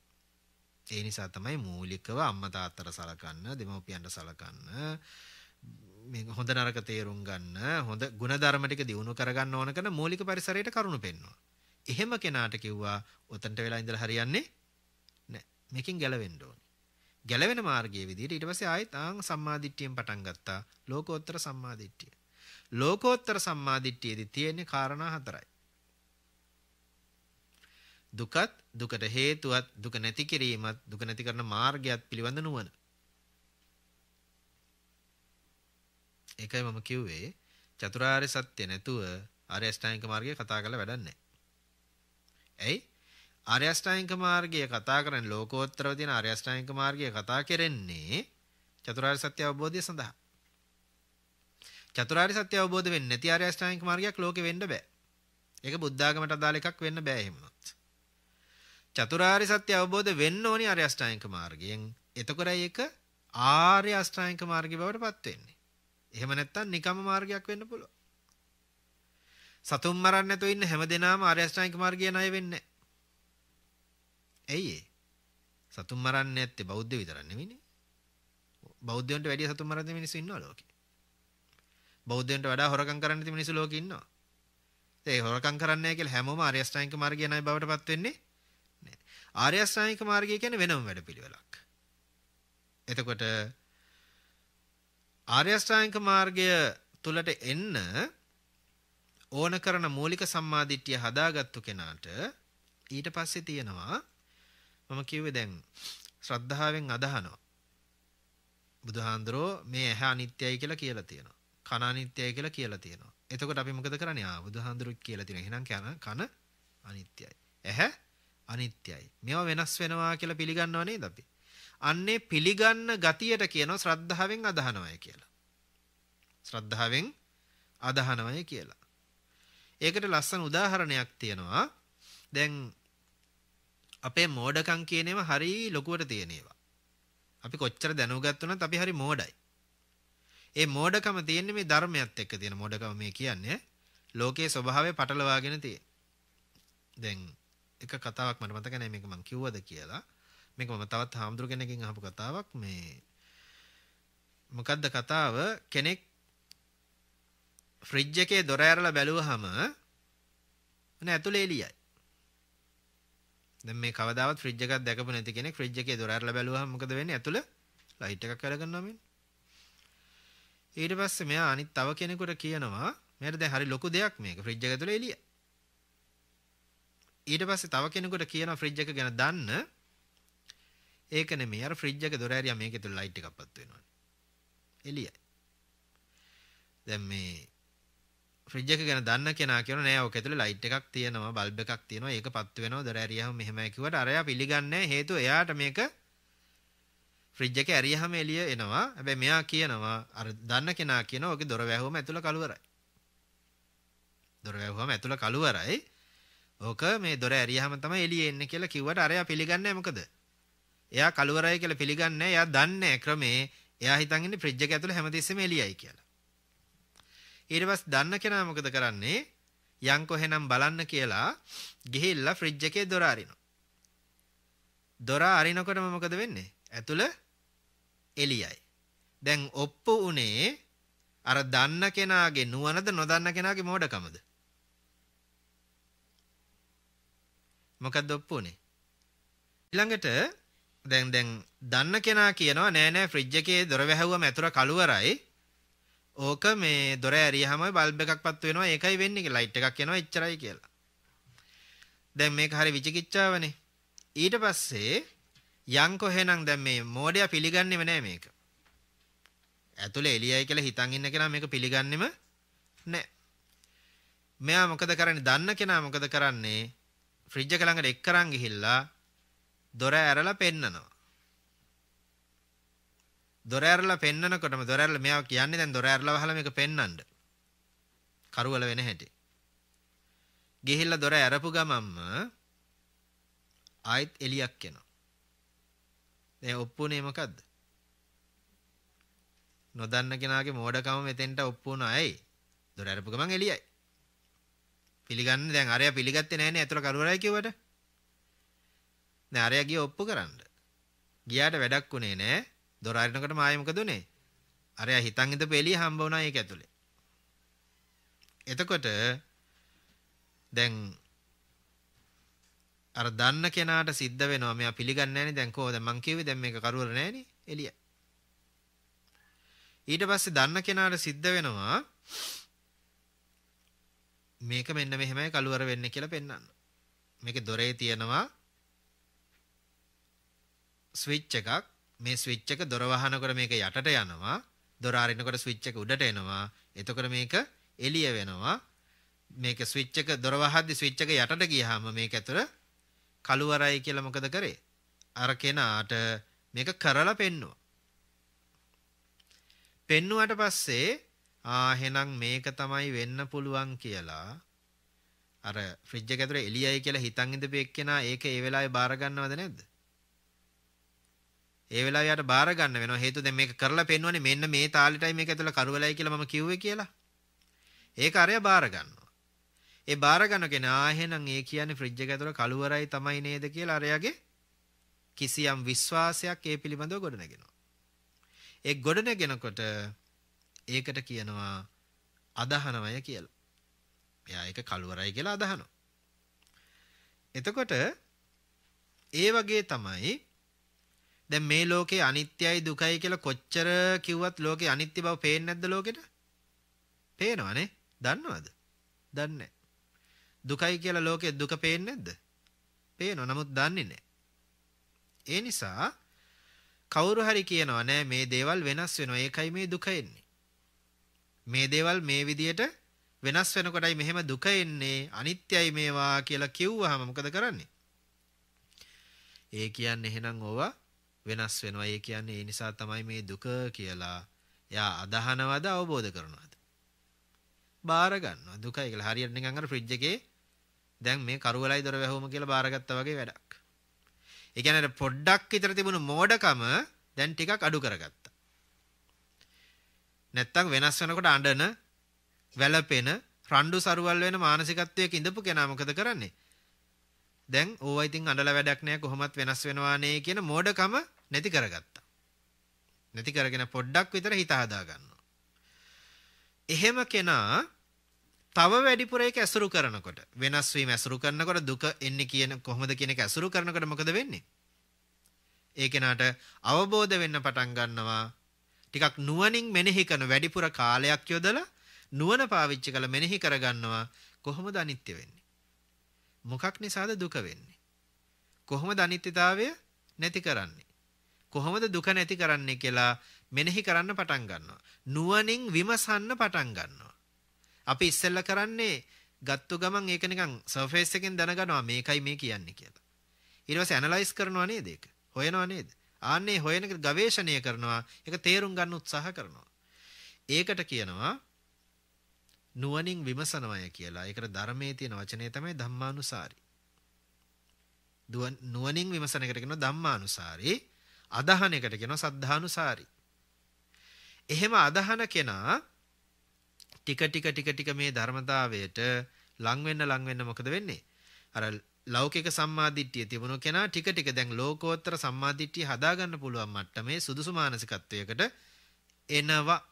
එහෙම එන කෙනාට තමයි ලෝකෝත්තරත්වය මොකද්ද කියලා උගන්වන්න පුළුවන් වෙන්නේ.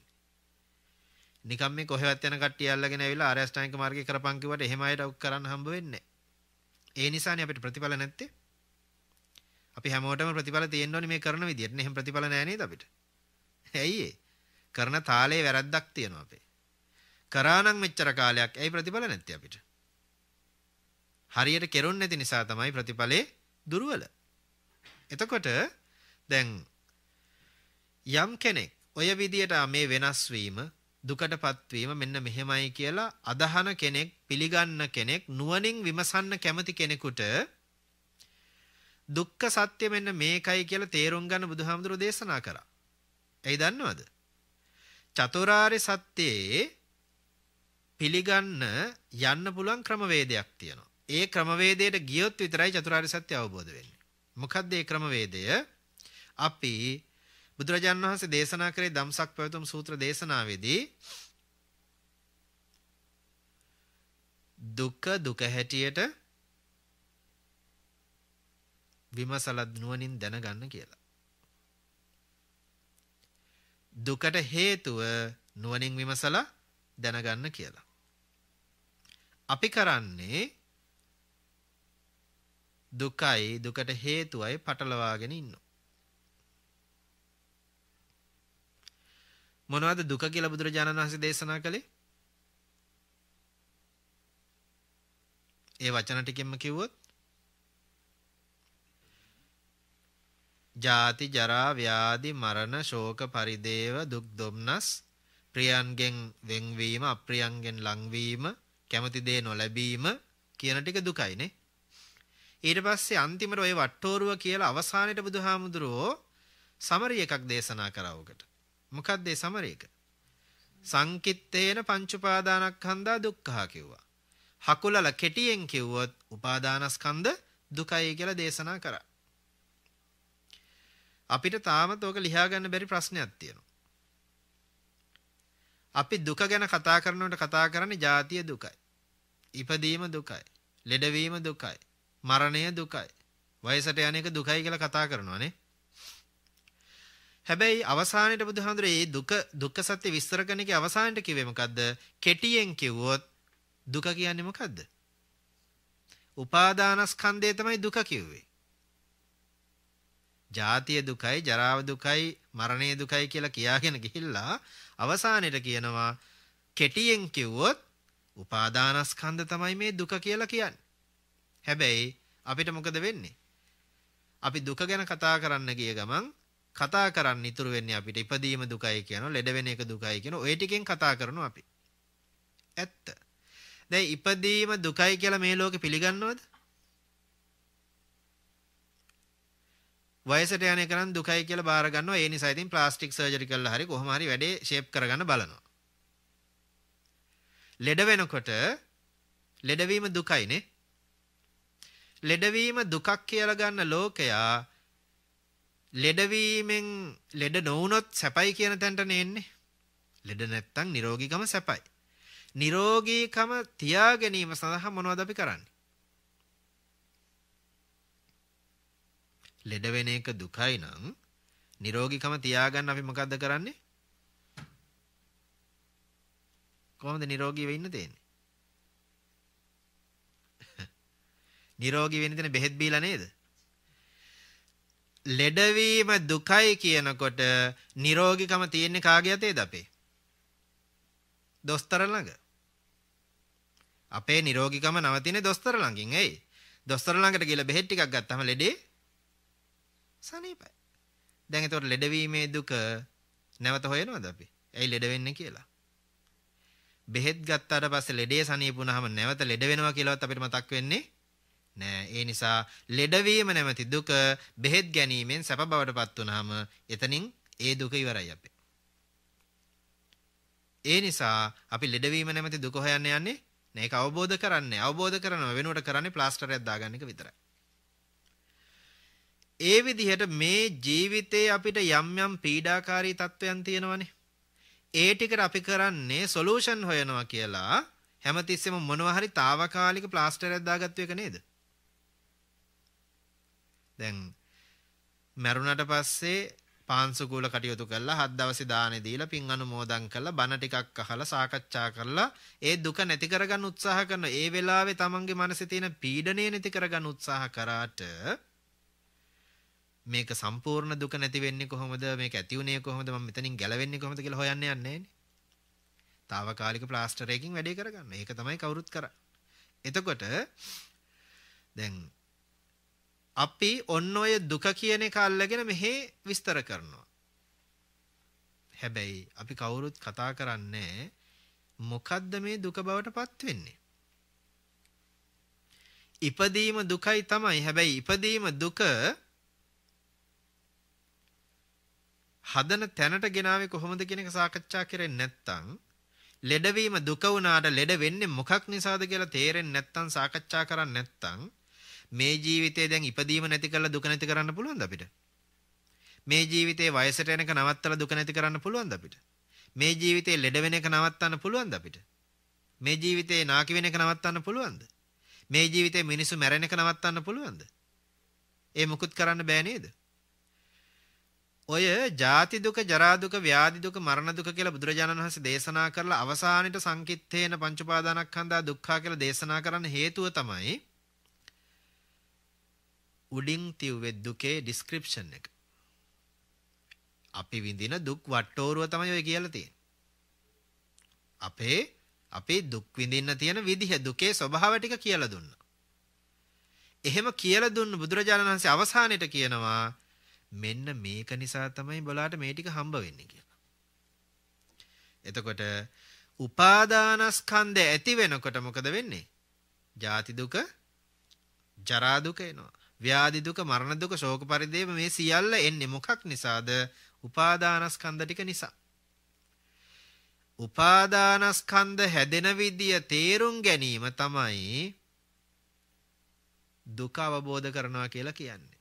ඉපදීම දුකයි කිව්වයි කියලා දුක අවබෝධ වෙච්ච කෙනෙක් ලෝකේ නැහැ. ලෙඩවීම දුකයි කිව්වයි කියලා ලෙඩ මේ මේ අවබෝධ කරපු කෙනෙක් නැහැ දුක. ඒ නිසා දුක හදන මේ දුක විස්තර කරා මෙන්න මේකයි දුක මෙන්න මේක නිසයි දුක හදන්නේ කියලා තේරුම් ගත්තු කෙනා තමයි ජාතිය නැති කරන්න යන කෙනා. ජරාව ව්‍යාධිය මරණය නැති කරන්න යන කෙනා අනිත් සියලු දෙනාම නිකන් දුක ගැන උඩින් අතපත ගන්න අය. එතකොට බුදුරජාණන් වහන්සේ දුක විස්තර කරලා කිව්වා මෙන්න මේක තමයි දුක කියලා කියන්නේ කෙටියෙන් ගත්තොත් එහෙනම් උපාදානය වෙනවා කියන්නේ මොකද්ද? ඉපදීම වයසට යෑම ලෙඩවීම තියෙනවා කියන එකයි දැනගන්න කියලා දේශනා කරා. දුක්ඛ සත්‍ය පිරිසිදු දැනගන්නවා කියන්නේ ඕකට. එහෙම නැත්නම් දුක්ඛ සත්‍ය නිකන් කතා කරන්න පුළුවන්. අපි කරන්නේ ජාති දුකයි, ජරාව දුකයි කියලා කතා කරනවා. කතා කිරීම නුවණ නෙවෙයි. දැන් ඔය කිව්වේ දුකනේ. එතකොට ඒකට හේතුවක් දේශනා කරා. ඕක සමුදය. ඒ කියන්නේ ප්‍රතිඵලය. දුක්ඛය කියවේ ප්‍රතිඵලය. ඊට පස්සේ ඒක හැදිච්ච හැටි කියලා දුන්නා. ඵලය ආපු හේතුවක් තියෙනවානේ. මොකක්ද හේතුව? දුකට හේතුව මොකක් කියලාද බුදුරජාණන් වහන්සේ දේශනා කළේ? තණ්හාව දුකට හේතුවයි කියලා දේශනා කළා. දැන් අපි සාමාන්‍යයෙන් කතා කරොත් දුකට හේතුව තණ්හාවයි කියලා කතා කරලා එක පැත්තකට කියනවා මේ තණ්හාව නිසා දුක එනවයි කියලත් කියනවා සමහර වෙලාවට අපි කියනවා දුක කියන්නේ තණ්හාවයි කියලත්. දුක කියන්නේ තණ්හාවට නමක් නෙවෙයි. තණ්හාව කියන්නේ දුකට නමකුත් නෙවෙයි. තණ්හාව කියන්නේ දුකට හේතුව විතරයි.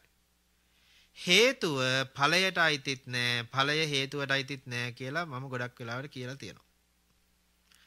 තණ්හාව නිසා හදන්නේ මොනවද? දුක.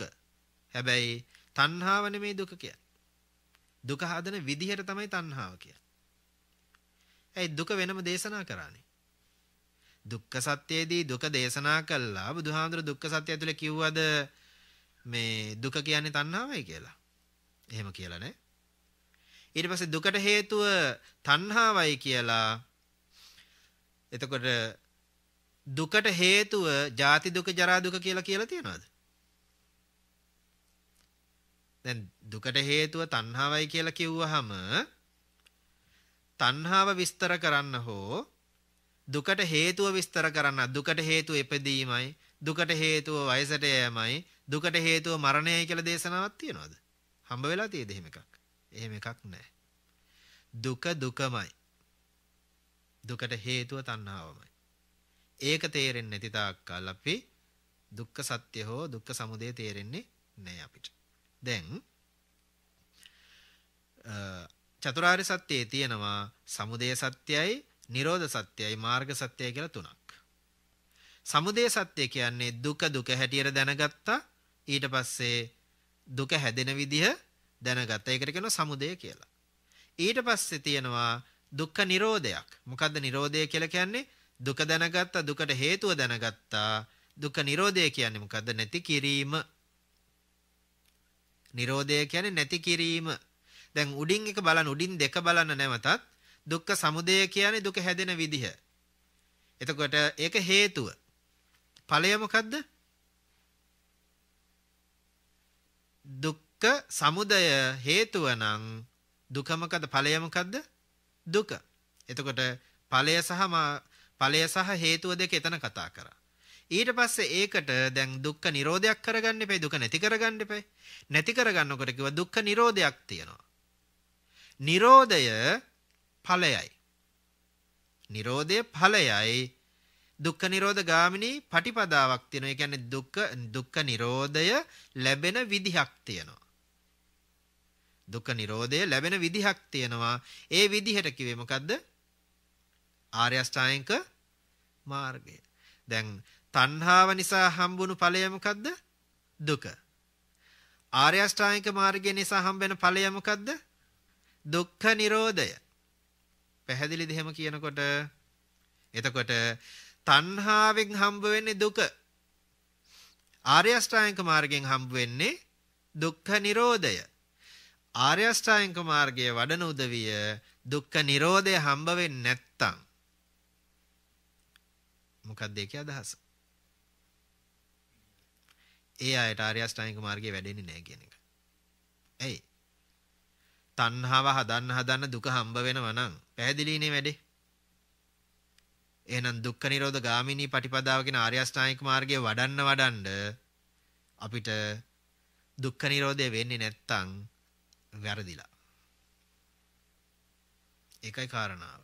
එතකොට අපි ආර්ය අෂ්ටාංගික මාර්ගයේ වඩන්න ඕනේ මොකක් වෙන විදියටද? දුක්ඛ දුක්ඛ නිරෝධය කියලා කිව්වේ මොකද්ද? දුක නැති වෙන විදියට වඩන්න තියෙන්නේ.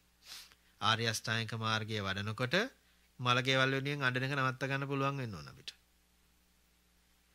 ආර්ය අෂ්ටාංගික මාර්ගයේ වඩනකොට ඉපදීම, ලෙඩවීම, වයසට යෑම වෙනුවෙන් අඬන අඬන වැළපෙන නැහින ගතිය නැති වෙන්න ඕනේ අපේ. ඒක වෙන්නේ නැත්තම් ඒ කියන්නේ අපි කොච්චර බණ භාවනා කරත් අපිට මුකුත් වෙලා නැහැ කියන එකයි අදහස. ඒක තේරෙන්න ඕනේ අපිට. අපි මේ කතා කරන අපි ඉන්න පරිසරය තුළ අපි විඳින දුක අල්ලගෙන මේ පරිසරය අල්ලගෙන අපි මනසින් විඳින දුක් ටික තේරුම් අරගෙන නැති කරගන්නේ නැත්නම් අරේස්ටයින්ක මාර්ගය වැඩිලා නැහැ අපිට. ඒ කියන්නේ මාර්ගය වඩන්න ඕන ඵලය ලැබෙන විදිහට. ඒකයි අදහස. එහෙමනම් දැන් දුක දුක හැටියට තේරුම් ගත්ත දුක්ඛ සත්‍යයේදී. දුක්ඛ සමුදය තේරුම් ගත්ත දුක හදන විදිහ විදියට. ඊට පස්සේ දුක්ඛ එක එක සමුදය සත්‍ය ඊට පස්සේ කියනවා ආර්ය අෂ්ටාංගික මාර්ගයේ වඩන්න කියලා. මොකටද වඩන්නේ? දුක්ඛ නිරෝධය කර ගැනීම සඳහා. දැන් ඔන්න සම්මාදිට්ඨියෙන් යුතුව. අර අපි කතා කරානේ අදහනවා විශ්වාස කරගෙන ඊට පස්සේ පිළි අරගෙන නුවණින් මෙහෙයවලා සද්ධානුසාරීව ධම්මානුසාරීව දැන් මාර්ගය වඩන්න පටන් ගන්නවා. වඩනකොට සම්මා දිට්ඨිය කියන්නේ මොකද්ද? දුක්ඛේ ඥානං. දුක්ඛේ ඥානං කියලා කිව්වේ සීල සමාධි ප්‍රඥා විදියට වඩාගෙන යනකොට ඒ කෙනාට නැවත දුක හටගන්න නැති වෙන්න නුවණ උපදින්න ඕන. ඒකට කියන දුක්ඛේ ඥාන. සීල සමාධි ප්‍රඥා වඩනකොට දුක්ඛ සමුදය නොවෙන්න නුවණ උපදින්න ඕන. ඒකට කියනවා දුක්ඛ සමුදය ඥාන. ආර්ය අෂ්ටාංගික මාර්ගයේ වඩනකොට දුක්ඛ නිරෝධය හම්බ වෙන්න ඕන. ඒකට කියන දුක්ඛ නිරෝධේ ඥානං දුක නැතිවීම. නිරෝධගාමිනී පටිපදාය ඥානං දැන් මේ මාර්ගයේ වැඩෙන්නේ මේ තුල දුක නැති වෙනවාය කියන නුවණ ඇති වෙමින් ඇති වෙමින් යන්න තියෙන එකක් තියෙන්නේ. ඒකට කියනවා ආර්ය අෂ්ටාංගික මාර්ගය වඩලා චතුරාර්ය සත්‍ය අවබෝධ කරනවා කියලා. ඔය වැඩේ කරන කොටයි ප්‍රතිඵල හම්බ වෙන්න තියෙන්නේ. දැන් මේ කතා කරන්නේ ඩීටේල්ස්. එතකොට දැන් ආර්ය අෂ්ටාංගික මාර්ගය වැඩෙන්න ඕන චතුරාර්ය සත්‍ය අවබෝධ වෙන විදිහට. මම ඒකේ දුක්ඛ සමුදය හැදෙන තැනට සම්බන්ධ කළ උපාදාන කතාව කිව්වනේ දුකට හේත් දුක කියලා කියන්නේ උපාදානයි කියලා. අන්න එතන චුට්ටක් විස්තර කරලා දෙන්නම්. විස්තර කරාට පස්සේ අපි ආර්යශ්‍රාණික මාර්ගය වඩන්නේ ඇයි කියන එක සාකච්ඡා කරගමු තව පොඩි වෙලාවක් අරගෙන. දැන් ඉපදීම, ලෙඩවීම, වයසට යෑම කියන ටික පේනවා. උපාදාන පේනවද? උපාදාන කියන්නේ ක්ලින්ගින් කියන එකයි. ග්‍රැස්පින් කියන එකයි.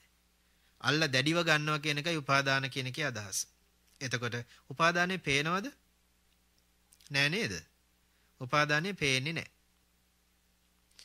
අපි පොඩි උදාහරණයක් මෙහෙම ගත්තොත් මේ උපාදාන වෙන හැටි කියන්නේ හොඳට මේක තේරුම් ගන්න මේවා මේ නිතර කතා කරපු දේවල් අපි ওই සාකච්ඡාවල සරින් සරේට දැන්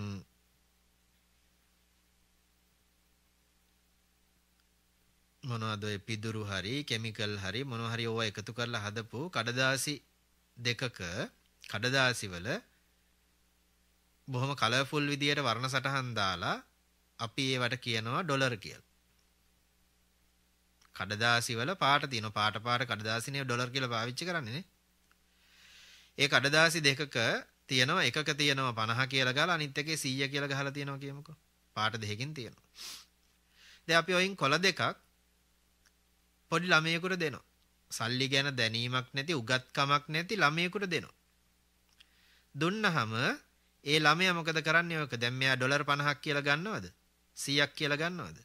මෙයා මොකද කරන්නේ මේකට? ඔක ඉරනවා, පොඩි කරනවා, ගුලි කරනවා, කනවා, එක එක දේවල් කරනවා. මෙයා දැන් ප්ලේ කරනවා මේ සල් මේ සල්ලි කොල කියලා එයා දන්නේ නැහනේ. එයාට ඇහැට පේන්නේ මොනවද? පාට. පාට පාට ටිකක් එක දැන් මෙයා සෙල්ලම් කරනවා. ඔහම සෙල්ලම් කර කර ඉන්නකොට දැන් මෙයාගේ වටිනාකම කොතනද ඔය සල්ලි කොල්ල කියලා දන්නේ නැති නිසා එයාගේ වටිනාකම තියෙන්නේ සෙල්ලම් කිරීමත් එක්ක. පාට පාට ටිකක් ඇහැට පේනවා. ඒකට සෙල්ලම් කරනවා. මෙයා ඩොලර් 50ක් 100ක් කියන දන්නේ නැහැ. ඊළඟට ඔය විදිහටම කොළ දෙකක් අපි වැඩිහිටියෙකුට දෙනවා. දැනුගත් සල්ලි ගැන දන්න කෙනෙකුට දෙනවා. දුන්නු ගමන් මෙයා මොකද්ද මේකට කරන්නේ? දැන් 150කින් කරන්න පුළුවන් වැඩ ටික ලයිස්තුගත කරනවා. නේද? 50ට මෙච්චර පුළුවන් 100ට මෙච්චර පුළුවන් කියලා වට්ටෝරුවක් හදනවා. දැන් මෙයා ඒ සල්ලි කොල ඉරනවද? ගුලි කරනවද? කටේ දාලා හපනවද? මොකුත් කරන්නේ බොහොම පරිස්සමට ඒක අරන් තියනවානේ. දැන් දෙන්න ළඟ දැන් බලන්න දරුවා ළඟ තිබුණේ අර විදියටම කඩදාසියක දාපු වර්ණ සටහනක්. වැඩිහිටියා ළඟට ගියෙත් ඒ විදියටම පාට දාපු පාට සටහනක් වර්ණ සටහනක් ගියේ. සල්ලි කොළ දෙකේ වෙනසක් වුණාද වැඩිහිටියා ළඟදී දරුවා ළඟදී? නෑ නේද? 50 50මයි 100 100මයි නේද දෙපැත්තෙම. එතකොට දරුවා ළඟදී ඕක සෙල්ලම් කරන භාණ්ඩයක් බවට පත් වෙන්නත් වැඩිහිටියා ළඟදී ඕකට වටිනාකමක් ලැබෙලා බඩු ලයිස්තුවක් ගන්න පුළුවන් දෙයක් බවට පත් වෙන්නත්.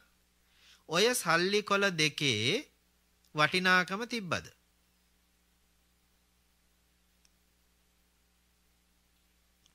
දැන් සල්ලි වටිනවා කියන තැනින් අතාරින්නේ. මං අහන්නේ දරුවා ළඟදී තිබුණු වර්ණ සටහන වැඩිහිටියා ළඟදී වෙනස් වුණාද සල්ලි කොළවල? නෑ නේද? දරුවා ළඟ තිබුණෙත් අර විදියටම වර්ණ සටහනක්. වැඩි හිටියා ළඟට යනකොටත් තියෙන වර්ණ සටහනක්. දරුවා ළඟදී මොකද උනේ? ඉරන්න කන්න සෙල්ලම් කරන්න භාණ්ඩයක් බවට පත් වුණා. එයාගේ වටිනාකම එතනින් සීමා වුණා. වැඩි හිටියා ළඟට යනකොට ඒකට ලෝකේම පෙරලන්න පුළුවන් දී වටිනාකමක් හම්බ වුණා. දැන් ඔය සල්ලි කොළ දෙකේ ඔය කියන වටිනාකම් තිබ්බද? කොහෙද තිබ්බේ? එක එක්කෙනාගේ දැනීම තුල තමයි දැනුගත්කම් තුල තමයි ඔය වටිනාකම තියෙන්නේ. ඔයත් දන්නවද අපි අපි කාගෙත් මේ මහා අධ්‍යාපන රටාව තුල දැනුම තියෙන්නේ ඔන්න ඔය සල්ලි කොලේම හපන්න නැතුව වටිනාකම් කියන තැනට විතරයි. ඊට එහා එකක් නෑ අපි කාගේවත්. අපේ දැනුම අපේ දැනුගත්කම් සියල්ල ඔය සල්ලි කොල හපන්න නැතුව වට්ටෝරු ලියන මට්ටමට සීමා වෙලා තියෙනවා. නිකමට හිතලා බලන් ඉන්නකම.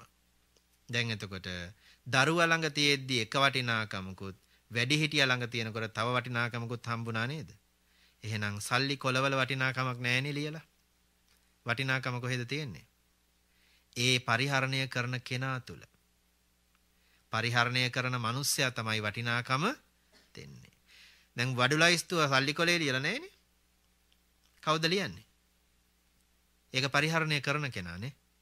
බඩුලයිස්තුව සල්ලි කොලේ ලියලා තිබ්බනම් දරුවටත් ඒක තේරෙන්නේ බෑ. එහෙම තේරුණෙත් නෑ. එතකොට අපි දැන් සමහර වෙලාවට ඔය පාරවල් වල ලංකාවේ මෙහෙ ඉතින් දකින්න නෑ. මෙහෙ බෙගර්ස්ලා ඉන්නේ සිග්නල් ලයිට් ළඟනේ. මේ ලංකාවේ හරියට හිඟන මිනිස්සු ඉන්නවනේ බෙගර්ස්ලා ඉන්නවා. ඒගොල්ලෝ සමහර වෙලාවට ඔය පාරේ වැටිච්ච කොළ එහෙම එකතු කර කර යන පිස්සු තියන අයත් ඉන්නවා. නේ? ලංකාවේ අපි දැකලා තියෙනවා එක එක කඩදාසි කොළ, කොස් කොළ, දේල් කොළ එකතු කරලා මළු වල දාගෙන යන මිනිස්සු ඉන්නවා පිස්සෝ කියලා අපි කියන්නේ ඒගොල්ලන්ට නේද? අපි ඒගොල්ලන්ට කියන්නේ පිස්සෝ කියලා. දැන් බැරි වෙලාවත් අපි පාරේ යනකොට ඔය 10 කොළ 50 කොළ 100 කොළ පාර දිගේ දාලා ගිහින් තිබ්බොත් කවුරු හරි අපිත් ඕවා එකතු කර කර මල්ලේ දදා යන එකක් නැද්ද? හ්ම්? එහෙම කරන එකක් නැද්ද? අනිවාර්යෙන් කරයි වාහනේ නවත්තලා බහැලා ගිහිල්ලා එකතු කරන් ඇවිල්ලා දාගෙන යයි. ඒ එකතු කිරිල්ලට කියන්නේ මොකක් කියලාද එතකොට? දැන් අර මිනිහගේ කඩදාසි එකතු කිරිල්ලට කිව්වා පිස්සු කියලා. දැන් මේ පාරේ දාලා තියෙනනේ කඩදාසි. පාට පාට කඩදාසි ගොඩන්නේ දංක දාපු.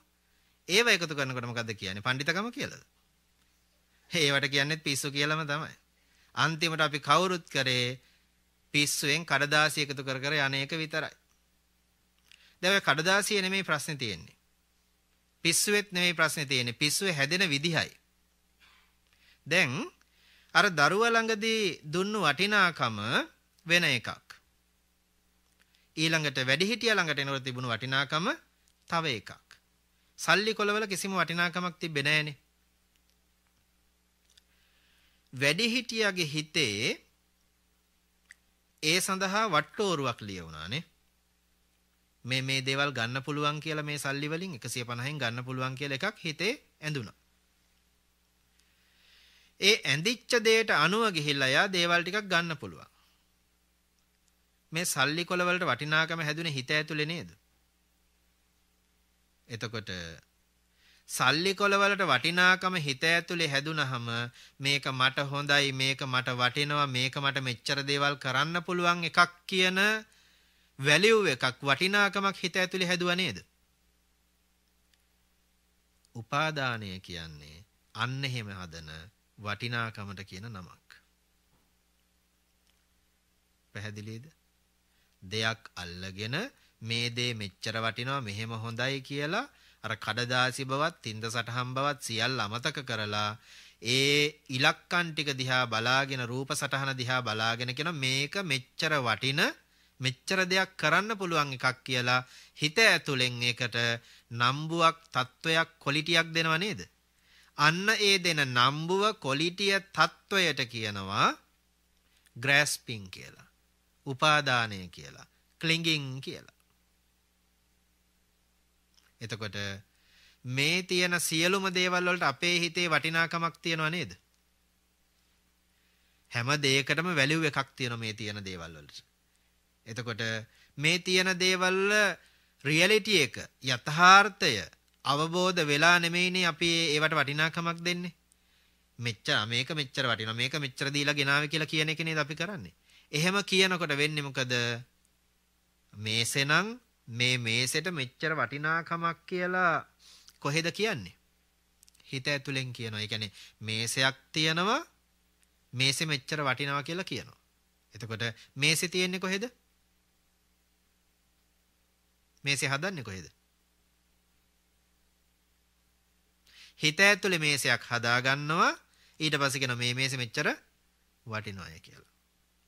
එහෙම වටිනාකම් හදලා ඊට පස්සේ දකින දකින මේස කම්පයා කරනවා නේද ඊට පස්සේ. අර මේසෙට වැඩිය මගේ මේසෙ වටිනවා. මගේ මේසෙට වැඩිය අර මේසෙ එච්චර වටින්නේ නෑ කියලා කම්පයා කරන්නේ නැද්ද? එහෙම කම්පයා කරන ගතියක් අපිට කාටවත් තියනව නේද? අන්න ඒකට කියන උපාදානය කියලා. වැලියු එකක් දෙනවා හැමතිස්සෙම. මිලක් නියම කරනවා. ඒ මිල නියම කරන්නේ බහඬ වල කොහෙවත් නෑනේ ගහලා මිල. හැමතිස්සෙම මිල නියම වෙන්නේ ඇතුලේ. වටිනාකම දෙන්නේ ඇතුලෙන්. ඒ වටිනාකම දෙන්න දෙන්න මොකද වෙන්නේ? අපි ඒකත් එක්ක බැඳෙනවා මිසක අපි ඇතෑරෙන්නේ නැහැ. එහෙම බැඳෙන එකට කියනවා උපාදාන කියලා. දැන් එතකොට හිත ඇතුලෙන් වටිනාකම් දිදී බැඳි බැඳි යනකොට අපිට හම්බ වෙන්නේ මොනවද? මොන දුකද?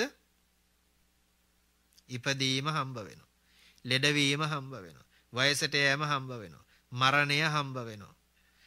මැරෙන මිනිස්සු මැරීමේ දුක හම්බ වෙනවා. අප්‍රියයි ලංවීමේ දුක හම්බ වෙනවා. දේවල් නැතිවීමේ දුක හම්බ වෙනවා. ඇයි? වටිනාකම් දෙන්න දෙන්න වටිනාකම අනුව හිතලා කල්පනා කරනව නේද අපි? වටිනාකම ගැන හිතලා කල්පනා කරනවා.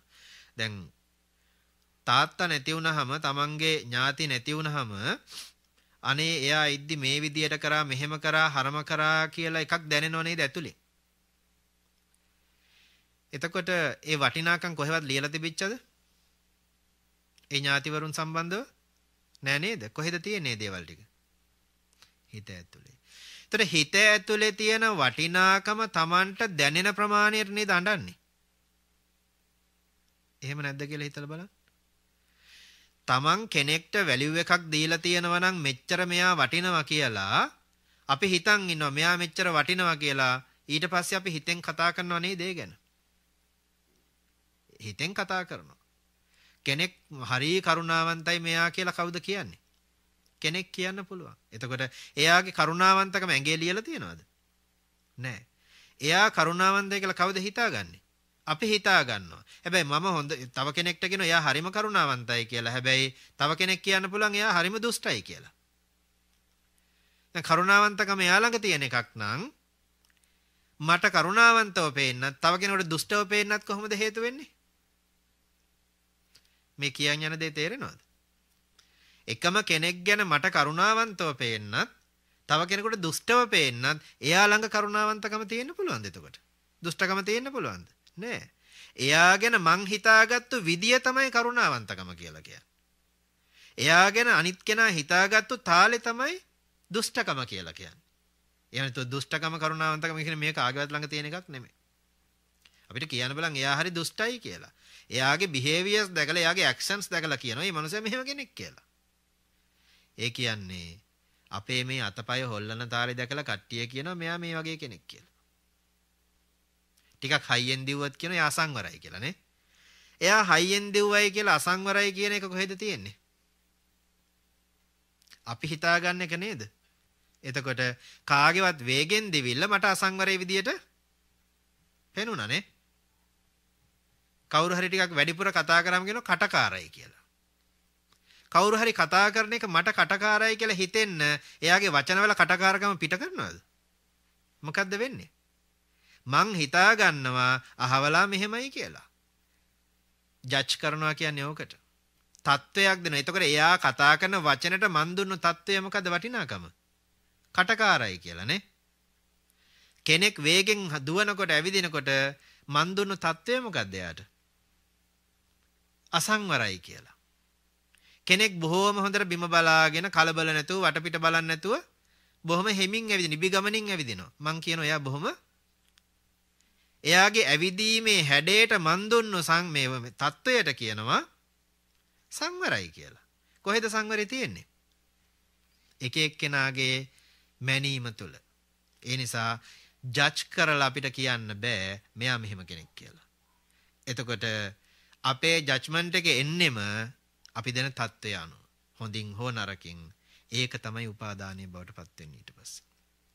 දැන් උපාදානය කියන්නේ කොහේ හටගන්න එකක්ද? හිතේ හටගන්න එකක්.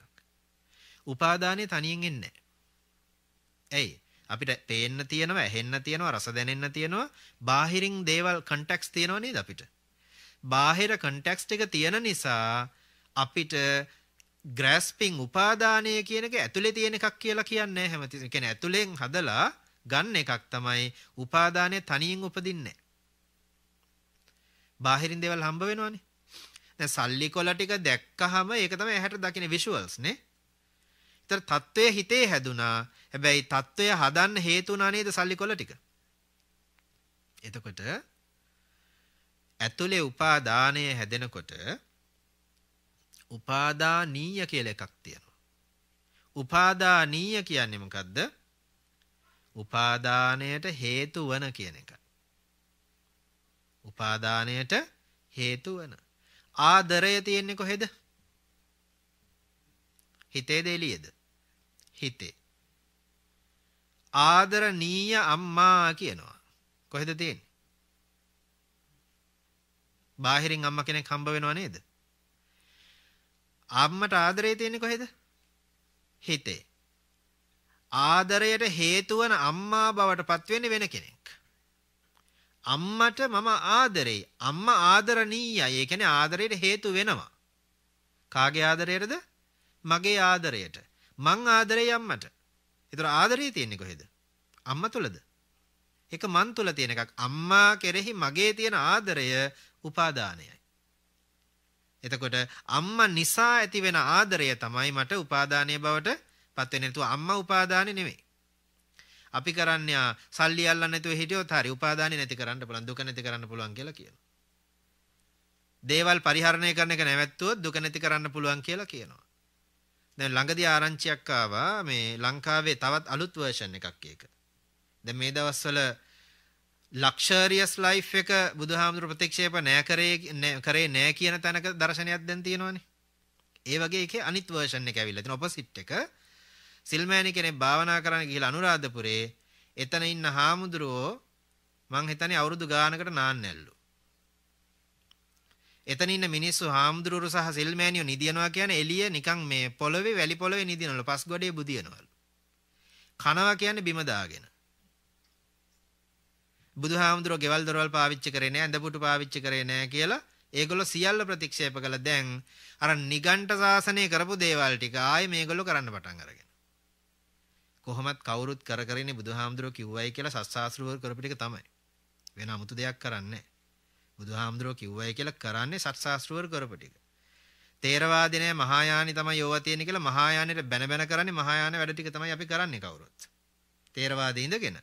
දැන් සුපර් ලක්ෂරියස් විදියට ආපු පරිසරයක් කතා කරන කෙනෙක් දෙන්නෙක් ඉද්දි ලංකාවේ ඔපොසිට් එක ටෝටලි කතා කරනවා බුදුහාඳුරව පාවිච්චි කරේ නෑ කියලා බිම දාගෙන කනවා.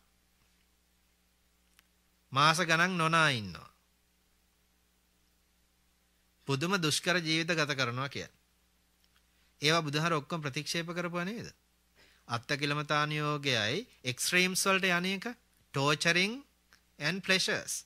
බුදුහාමුදුරෝ අයින් කරපුවා. දැන් ඒගොල්ලෝ කරන්නේ ඒ දෙක අල්ලගෙන බුදුහාරෝ කිව්වයි කියලා කියනවා. තව වර්ෂන් එකක් ලංකාවේ හෙට අනිද්දාට ප්‍රසිද්ධ වෙලා එයි. සූදානම් වෙලා ඉන්න පුරුදු කරන්න පුහුණු කරන්න කට්ටිය. එහෙම නෙවෙන්නේ නේද? එනකොටම බාර ගන්නවා මේක හොඳයි තිබ්බේකට වඩා කියලා. ඉතින් ඒක පටන් ගන්නවා ඊට පස්සේ කියලා. අපිට එහෙම ලෙඩ තියෙන කට්ටියක් අපි. ඒ නිසා තමයි අපිට බුද්ධිය නැහැ කියලා කිව්වේ. එතකොට දැන් බුදුහාමුදුරෝ දේශනා කරාද බාහිර දේවල් අයින් කරා කියලා උපාදානිය නැති වෙනවා කියලා? ආදරණීය අම්මා ආදරයට හේතු වෙන අම්මා කෙනෙක් ඉන්නවා. අම්මා එලවල ආදරය නැති කරන්න කියලා කිව්වද? ආදරණීය තාත්තා. ආදරය තියෙන්නේ තාත්තට කොහෙද? හිත ඇතුලේ. තාත්තා ඉන්නේ බාහිරින්. තාත්තා බාහිර ඉන්නවා කියලා කියන්න බෑ. මේ කියන්නේ සම්මතය ඈ. එතකොට මගේ ආදරයට අහුවෙන තාත්තා කෙනෙක් මට එළියෙන් හම්බ වෙනවා. ඒතර තාත්තාගේ තාත්තා කෙරෙහි ආදරය තියෙන්නේ කොහෙද? හිත ඇතුලේ. එතකොට උපාදානය කියන්නේ ආදරයට.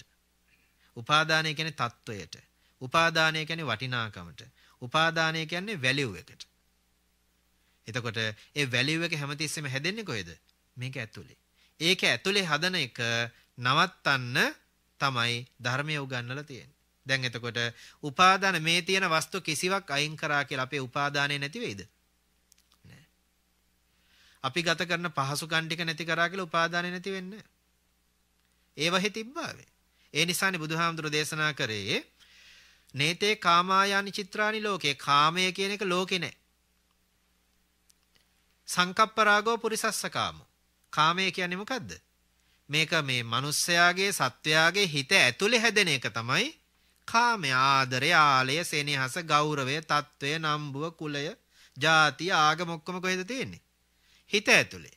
හදාගත්තු එකට බාහිරින් මැටීරියල් ටිකක් අල්ලන් ලේබලයක් ගහුවා මේක මෙච්චර වටිනවයි කියලා. මේක ಜಾතියකව මේක ආගමකව මේක කුලයේ කිව්ව මේක වංශයකව මේක උගත්කම කිව්වා. ඒකල්ලා හිත ඇතුලේ හදාගත්තු රූප සටහනකට චිත්ත සටහනකට බාහිර වස්තු ටිකක් ලේබල් කරලා දීලා කිව්වා මෙච්චර මේක වටිනවයි කියලා. ඒ නිසා බුදුහාර දේශනා කරේ කාමය කියන එක රාගය කියන එක ලෝකෙ කොහෙවත් නැහැ. සංකප්ප රාගෝ පුරිසස්ස කාමෝ. කොහෙද තියෙන්නේ? අපි හිතන විදිය අනුව තමයි කාමයේද නැද්ද කියලා තීන්දුව කරන්නේ. හිතන විදිය අනුව තමයි තරහද මෛත්‍රියද කියලා තීන්දුව කරන්නේ. තිට්ටන්ති తත්‍රේව තතේව ලෝකෝ. බුදුහාරෝ දේශනා කරන්නේ ඔය බාහිර තියෙන ලෝකේ ඔහි තිබ්බා. මොකද බාහිර ලෝකේ හරි ලස්සනයි. දැන් බලන්න මෙතන මිනිස්සු ගොඩක් ඉන්න. මේ මිනිස්සු එක කෙනාට එක එක හැඩනේ. ඒ එක එක්කෙනාගේ වර්ණය සටහන. ඒ හැඩය. ඒක විවිධයි. දැන් මෙතන ඉන්න මිනිස්සු මේ තාලේ මෙහෙමයි ඇයි එහෙමුනේ කියලා අපි දඟලන්න ගත්තොත් එහෙම ඒක තමයි අපේ ප්‍රශ්නේ. මේ තියෙන විදිහට මේක ඇක්සෙප්ට් කරගෙන ඉන්නයි තියෙන්නේ අපිට. උසද, මිටිද, මහතද, කළුද, සුදුද කියන එක නෙමේ කාරණා. ඒ තියෙන ස්වභාවය ඇක්සෙප්ට් කරලා අපි හිත හදා ගන්නවා. ඇයි ඔයා ඔච්චර මිටි? අපිට අනිත් අයගේ මහත එහෙම හරි ප්‍රශ්නයක් නේ. ඔයා ඔච්චර මහතයි ටිකක් ඩයට් කරන්නකො. මොකටද? කාගේවත් මහත අපිට මේ කල්චර් එකේ මහත කතා කරන්න පුළුවන්ද අපිට? එහෙම කතා කරන්න බෑ සදාචාරයක් ඇතිව. එයි මේ කල්චර් එක හදලා නැහැ එතෙන්ට. කෙනෙක්ගේ මහත ගැන කතා කරන්න තව කෙනෙකුට අයිතියක් නැහැ එතෙන්දී. ඒක එයාගේ ඇඟේ හැඩේ. කෙනෙක් කෙට්ටුණා කියලා අපි මොනව කරන්නද? ඒක එයාගේ වැඩක්. උස වුණා කියලා මොනව කරන්නද? මිටි වුණා කියලා මොනව කරන්නද? ඒක ෂේප් එක එයාගේ. කර්ම විපාක. සහ ඒගොල්ලෝ ගෙනපු විදිය. ඒ නිසා අපිට ඒක ප්‍රශ්නයක් වෙනවා කියන්නේ අපි උපාදාන කළා කියන එකයි. දොයි ලෝකෙ ගැන හැමතිස්සෙම අපිට ප්‍රශ්න තියෙනව නේද? ඔය ඔක්කොම අපේම ප්‍රශ්න මිසක ඒකේ හැඩේ ප්‍රශ්නයක් නෙවෙයි ඒ තියෙන්නේ. ඒ නිසා උපාදානය කියන්නේ අපි විසින්ම හදාගත්තු ප්‍රශ්නයක්. අන්තිමට වෙන්නේ මොකද? අපි විසින් හදන් අපි දුක් විඳින එක නේද කරන්නේ? අහවලා බලන්නකො මෙච්චර මහතයිනේ අයියෝ ඉතින් පවුනේ කීගේ අපි දුක් විඳිනවා නේ. ඒ මොනසෙට මහත ගානක්වත් නැහැ. අපි තරම් රැලක් හරක්. ඒක කාගේවත් මහත කාටවත් ප්‍රශ්නයක් කියලා මහත මිනිස්සයරත් දුක නැහැ. කොහෙවත් ඉන්න කෙනෙක් එළි වෙනකන් රැ වෙනකන් අඬනවනේ. දුක් විඳින්නේ නැද්ද? එතකොට තව කවුරු හරි මොකක් හරි ඕන වැරද්දක් කරනවා. අපි හිතමුකෝ බරපතල වැරද්දක් වෙන්න පුළුවන්. හැබැයි මං ඒ කල්ලාගෙන මං දුක් විඳින්න ඕනද? මට ප්‍රශ්නයක් වුණ ගමන් එයාටත් කලින් මට නේද දුක හැදෙන්නේ. කාගේවත් එහෙකට මම දුක් විඳිනවා. ඕකට කියනවා ඉන්දියාවට හෙම්බිරිසාව හැදෙනකොට ලංකාවට කිමුහුන් යනවායි කියලා. අනුන්ගේ ආයිබුවන් කරගහනවා කියන්නේ ඕකට. කවුරුකේවත් දුකකට මම මෙහෙ දුක් විඳිනවා නේ. ඒ කියන්නේ මම කර්මයක් කරගෙන මාත් මෙහෙ දුක් විඳිනවා. අනුන්ගේ කර්මයක් දිහා බලලා මං ඒ කර්මයටත් දුක් විඳිනවා. මොන කර්මයක්ද ගෙවන්නේ එතකොට? පව් ගෙවන විදිහ තමයි ඒ නිසා අපි කල්පනා කරන්න ඕනේ මට මේ දුක හැදුනේ කොහොමද? බාහිර තියෙන දේවල් ටිකක් අල්ලගෙන මං විසින් හිතාගත්තු තාලය අනුව තමයි මට මේ දුක හැදිලා තියෙන්නේ. අයියෝ මට එයා ගැහුවා කියලා මං අඬනවා. එයා නැති වුණා කියලා මං අර නැති වුණේ එයා අඬන්නේ කවුද? මම අඬනවානේ. ඒතර ප්‍රශ්නේ තියෙන්නේ කොහෙද? නැතිවීමේද? නැති වුණා කියලා හිතාගත්තු එකේ ප්‍රශ්නේ තියෙන්නේ. එයා බැන්නා කියලා මම මෙහෙ කේන්තියෙන් ඉන්නවා. බැනීමේද කේන්තිය තියෙන්නේ? නෑ. කොහෙද තියෙන්නේ? තමන් අසවලා බැන්නා කියලා හිතාගෙන ඉන්න නිසා තමයි තමන්ට කේන්තිය වෙලා තියෙන්නේ. ඒ විදියටයි ප්‍රශ්නේ තියෙන්නේ. ඒකට කියන උපාදානය කියලා. එතකොට උපාදානයට හේතු වෙන වස්තු ටිකක් එළියේ තියෙනවා. ඒ වස්තු ටිකට මම දෙන తত্ত্বය නම්බුව අනුව මම දුක් විඳිනවද සැප විඳිනවද කියන එක තීන්දුව වෙනවා. දුක වුණත් සැප වුණත් ඒක අවසානෙට එක වචනකින් කිව්වා. ඒ තමයි උපාදානය. ග්‍රහණය. දැඩිව ගැනීම, ක්ලින්ගින්. අන්තිමට වෙන්නේ මොකද? ඒ අල්ලා ගැනීම නිසා මං අඬනව නේද? අන්න ජාතිය දුකයි. අයියෝ මගේ කෙස් ඉදිලා අසවලාගේ කෙස් ඉදිලා කියලා අඬනවා. එතකොට වෙන්නේ මොකද? දැන් අර කෙස් ටික කොහෙවත් ඉදෙනවා. මම මෙහෙ දුක් වෙනවා. අල්ලා ගැනීම දුකයි කියන්නේ ඒකට. දැන් ඔන්න දුක තේරුම් ගත්තා. දැන් දුක හැදෙන විදිය පේනවද? අපි මේ අඬන්නේ වැළපෙන්නේ ශෝක කරන්නේ සතුට වෙන්නේ hina වෙන්නේ ඔක්කොම කරන්නේ අපි විසින් හදාගත්තු මානසික මට්ටමක් අල්ලගෙනයි කියලා හිතාගන්නකො. දැන් මේ දුක කියන එක හදන්නේ කොහෙද එතකොට?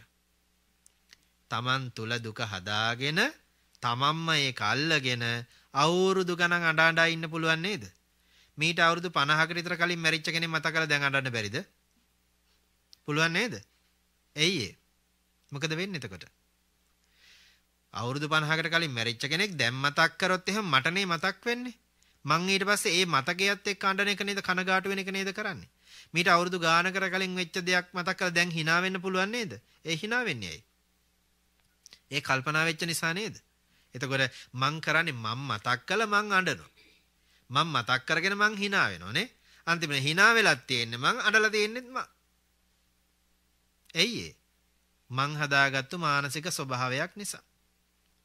ඕකට කියනවා දුක හැදෙන විදිහත් දුකත් තේරුම් ගන්නවයි කියලා. ඔය උපාදානියම තමයි තණ්හාව බවට පරිවර්තනය කළ ඊට පස්සේ යන්නේ. ඒකම තමයි දුක බවට පත් වෙන්නේ. දැන් බුදුරජාණන් වහන්සේ දේශනා කරේ මොකද්ද? ඔන්න ඔහොම හදන උපාදානය. දැන් දුක නැති කරන්න නේ දුක නැති කරන්න නම් ජාතිය ගැන අඬ අඬා හිටියයි කියලා ජරාව ගැන ඇඬුවයි කියලා දුක නැති වෙන්නේ දැන් දුක හදන්නේ කොහෙද? හිත ඇතුලේ හදන උපාදානය හරහා නේද දුක හැදෙන්නේ. අන්න ඒ උපාදානය වෙන විදිය නැවැත්තුවොත් නැති වෙන්නේ මොනවද? දුක නැති වෙනවා. අඬන එක නැවතිනවා. hina වෙන එක නවතිනවා. රණ්ඩු සරුවල් වෙන එක නවතිනවා. රන් රිදී මුතුමැණික් වලට වටිනාකම් දෙන එක නවතිනවා. මේ తত্ত্বය නම්බුව වංශය මේ ඔක්කොම නවතිනවා. ඇතුලේ හදන වටිනාකම් ටික නවත්තපු ගමන් ඒකට කියනවා දුක්ඛ සත්‍ය අවබෝධ කරනවායි කියලා සහ දුක්ඛ නිරෝධ වෙනවායි කියලා. දැන් ඔන්න ඔහම ඔය වැඩපිළිවෙල තේරුම් ගන්න එකට චතුරාර්ය සත්‍ය තේරුම් ගත්තා කියලා කියනවා. තව තියෙනවා කී කතා කරන්න මේ බොහොම බ්‍රීෆ්ලි කතා කරේ.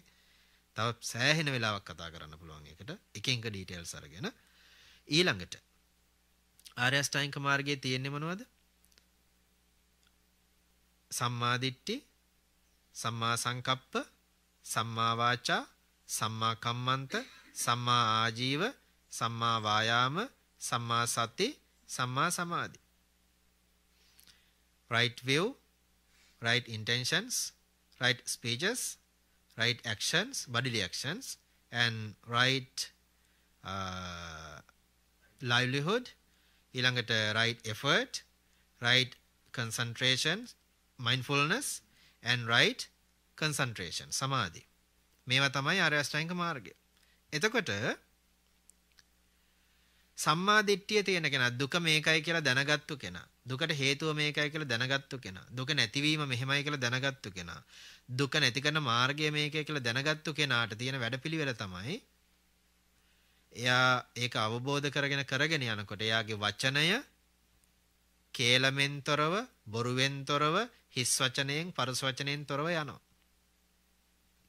එයාගේ සිතුවිලි කාම සංඥා නෙමෙයි නෙක්ඛම්ම සංඥා. නෙක්ඛම්ම කියන්නේ රිනන්සියේෂන් රිනවුන්ස් කරන්න අදහස එනවා. ඊට පස්සේ තරහ නැහැ. ඊට පස්සේ වෛර පරිගැනීම් නැහැ. දැන් එයාගේ හිතවිලිත් හොඳයි. වචනයත් ක්‍රියාත්මක වෙනවා. ඊට පස්සේ එයාගේ ඇක්ෂන්ස් ප්‍රාණඝාතයෙන් වෙන් වෙනවා, හොරකමෙන් වෙන් වෙනවා, කාමිත්‍යාචාරයෙන් වෙන් වෙනවා. ඊට පස්සේ ඒ කෙනාගේ ජීවන මාර්ගය අනිත් අයට තාඩන පීඩන කළා, හොරබොරු කළා, වංචා කරලා වැරදි විදිහට ජීවත් වෙන්නේ නෑ. උපයන ධනය තමන්ගේ කාලයේ ධනය ශ්‍රම කැප කරලා හම්බ කරගන්න එක බවට පත් වෙලා ජීවෙන මාර්ගයද නිවැරදි වෙනවා. ඊට පස්සේ එහෙම කෙනා උත්සාහ කරනවා. මොකද උත්සාහ කරන්නේ? තමන් අතින් වෙච්ච වැරදි නොවී ඉන්න. වැරදි කරන්න තියෙනවා නම් ඒවා නවත්තන්න. තමන් කර කර ඉන්න හොඳ තියෙනවා නම් ඒවා කරන්න කරන්න බැරි වුණු හොඳ තියෙනවා නම් ස්ටාර්ට් කරන්න කියන තැනට උත්සාහය ගන්නවා. සම්මා වායාම කියන්නේ ඒක තව විස්තර තියෙනවා ඒකට. ඊළඟට සම්මා සති කියවේ මොකද්ද? චතුරාර්ය මේ සතර සතිපට්ඨානය පිළිබඳව නුවණ කායානුපස්සනා, වේදනානුපස්සනා, චිත්තානුපස්සනා, ධම්මානුපස්සනා කියන හතරේ තියෙන නුවණ. ඊට සම්මා සමාධි කිව්වේ ධ්‍යාන හතර. දැන් ඔය තුන කැටි කරලා දුන්නනේ වචන තුනකින්. සීලයයි, සමාධියයි, ප්‍රඥාවයි. එතකොට සීලය කියන්නේ කය වචන දෙකේ සංවරය පිණිස කරන දේවල් ටික. සමාධිය කිව්වේ භාවනා පැත්තට තියෙන කාරණා ටික. ප්‍රඥාව කිව්වේ සම්මාදිට්ඨියෙන් නුවණ උදා වෙන විදිහ. දැන් ආර්ය අෂ්ටාංගික මාර්ගයේ ලීඩ් කරන්නේ කාරණා තුනක්. එතකොට පස් දෙනෙක් ලීඩ් වෙනවා තුන් දෙනෙක් නිසා. සම්මා දිට්ඨිය නිවැරදි දැකීමත් සම්මා වායාමය නිවැරදි උත්සාහයත් right effort සහ සම්මා සතිය. right mindfulness. එයි දැක්ම තියන කෙනාට ගැම්ම හදන්නේ වීරිය හදන්නේ effort එක. ගන්නවා කියන්නේ ඒකට. සම්මා වායාම කියන්නේ ඒකට. එයි කුසල් අකුසල් තේරුම් ගත්තු කෙනා. ಗುಣධර්ම මේකයි කියලා හොඳ නරක මේකයි කියලා තේරුම් ගත්ත කෙනා මොකද කරන්නේ? උත්සාහ කරනවා වැරදි නැති කරගන්නත් හොඳ ඇති කරගන්නත්. ඒකට කියන සම්මා වායාමය කියලා. අපි කියන්නේ නූපන් අකුසල් නූපදවන්න, උපන් අකුසල් දුරු කරන්න, නූපන් කුසල් උපදවන්න, උපන් කුසල් දියුණු කරන්න කියලා කියන්නේ ඕකට. එතකොට වෑයම් කරනවා මොකද කුසල් උපදවන්න අකුසල් බැහැර කරන්න. සමත විදර්ශනා වඩනවා කියන එකයි ඒකේ අදහස. එතකොට එහෙම කෙනාට නුවණින් යුතුව වෑයම් කරනකොට ඒ වෑයම පවත්වන්න මනා සිහියක් තියෙන්න ඕනනේ. කල්පනාවක් තියෙන්න ඕනනේ. අන්න ඒ සිහියට කිව්වා සම්මා සති කියලා. සම්මා සතිය අපිට ඕන තැනින් ගෙනියන්න බෑ බුදුහාඳුරෝ දේශනා කරා සම්මා සතිය කියන්නේ කය පිළිබඳව සිහිය වේදනා පිළිබඳ සිහිය ඊට පස්සේ හිත පිළිබඳ සිහිය ධර්මය පිළිබඳ සිහිය කියන කාරණා හතරකින් සිහිය පවත්වන්නේ ගැන්නුවා සම්මා දිට්ඨියෙන් සම්මා වායාමෙන් සම්මා සතියෙන් යුතුව කෙනාට එහෙම ඉන්න කෙනාට මොකද වෙන්නේ එයාගේ සංකල්පනා ස්වභාවයෙන්ම පිරිසිදු කරනවා එයා හිතන පතන විදිය පිරිසිදු කරනවා එයා කතා කරන වචන පිරිසිදු කරනවා. එයාගේ ජීවන මාර්ගයම නිවැරදි වෙනවා. එයාගේ භාවනාව නිවැරදි වෙනවා. මේ විදිහට තමයි ක්‍රියාත්මක වෙන්නේ. කයෙන් වචනෙන් හිතෙන් තුනෙන්ම කරන දේවල් ටික පිරිසිදු කරනවා සීල සමාධි ප්‍රඥා කියන කාරණා තුන. එතකොට ආර්ය අෂ්ටාංගික මාර්ගය වඩන්න ඕන මොකක් අවබෝධ වෙන්නද? චතුරාර්ය සත්‍ය අවබෝධ වෙන විදියට දුක්ඛ නිරෝධය වෙන විදියට දුක්ඛ නිරෝධය වෙන විදිහට චතුරාර්ය සත්‍ය මේ මේ ආර්ය අෂ්ටාංගික මාර්ගයේ වඩන්ඩ අපිට අර මුලින් කතා කරපු තෙරුවන් අදහන ගතිය මේ ලෝකෙ බුදුහාඳුරෝ දේශනා කරපු ධර්මයේ අදහන ගතිය ඒක නුවණින් විමසන ගතිය තියෙන්න ඕනේ මේ කතා කරපු කාරණා ටික Taman තුල විස්තර කරගෙන නුවණ උදා කරගන්න පුළුවන් මට්ටමේ මනසක් තියෙන්න ඕනේ එතකොට මේ මාර්ගය වඩනකොට අපි දරාගෙන පරණ යල් පැනපු මතවලට මොකද්ද කරන්න ඕන? මාර්ගය වැඩෙනවා නම් ඒව පැනලා දුවන්න ඕනේ, ඒව ඇතෑරෙන්න ඕන. ඒව ඉන්න බෑ. ඒව හිටියොත් වෙන්නේ මේක වැඩෙන්නේ නැහැ. ඒ නිසා දෘෂ්ටිය නිවැරදි වෙනවා කියලා කියන්නේ හැමදාම එකම මතේ ඉන්නවා කියන එක නෙමෙයි. අපි කරන්නේ මං කරන එක හරිද බලන්න බුදුහාඳුරගේ බණ පාවිච්චි කරන එක විතරයි. ඒක ධර්මය අවබෝධ කිරීම නෙමෙයි. ඒ කරන්නේ වෙනමම කාරණාවක්. ඒ කියන්නේ මම මගේ එක ඔප්පු කරන්න හදන ධර්මයෙන්. එහෙම එකක් නෙවෙයි. මම කරන්න ඕනි ධර්මය පුහුණු කරනකොට මගේ එක වැරදි නම් දුරු වෙන්න ඕන. එතකොට වෙන්නේ මම පිරිසිදු වෙනවා. ඒ කාරණා ටික තමයි කතා කරන්න තියෙන්නේ. ඔන්න ඔය කාරණාව තමයි ආර්ය අෂ්ටාංගික මාර්ගයේ තියෙන්නේ. ඕක ගිහිද පැවිදිද කියලා ભેදයක් නැහැ ඉතින්. ඔය කාරණා ටික ඔය මම මේ දැන් පැය දෙකකට කිට්ටුයි ඔය බොහොම කෙටියෙන් කිව්වේ. කොහොමනත් පැය 7ක් 8ක් තිබුණොත් එහෙම ඔය ටික කතා කරන්න පුළුවන්. චතුරාර්ය සත්‍ය කතා කරනම සෑහෙන කාලයක් යනවා විස්තර කරගෙන තේරෙන විදියට. ඔය කිව්වේ briefly content එක විතරයි.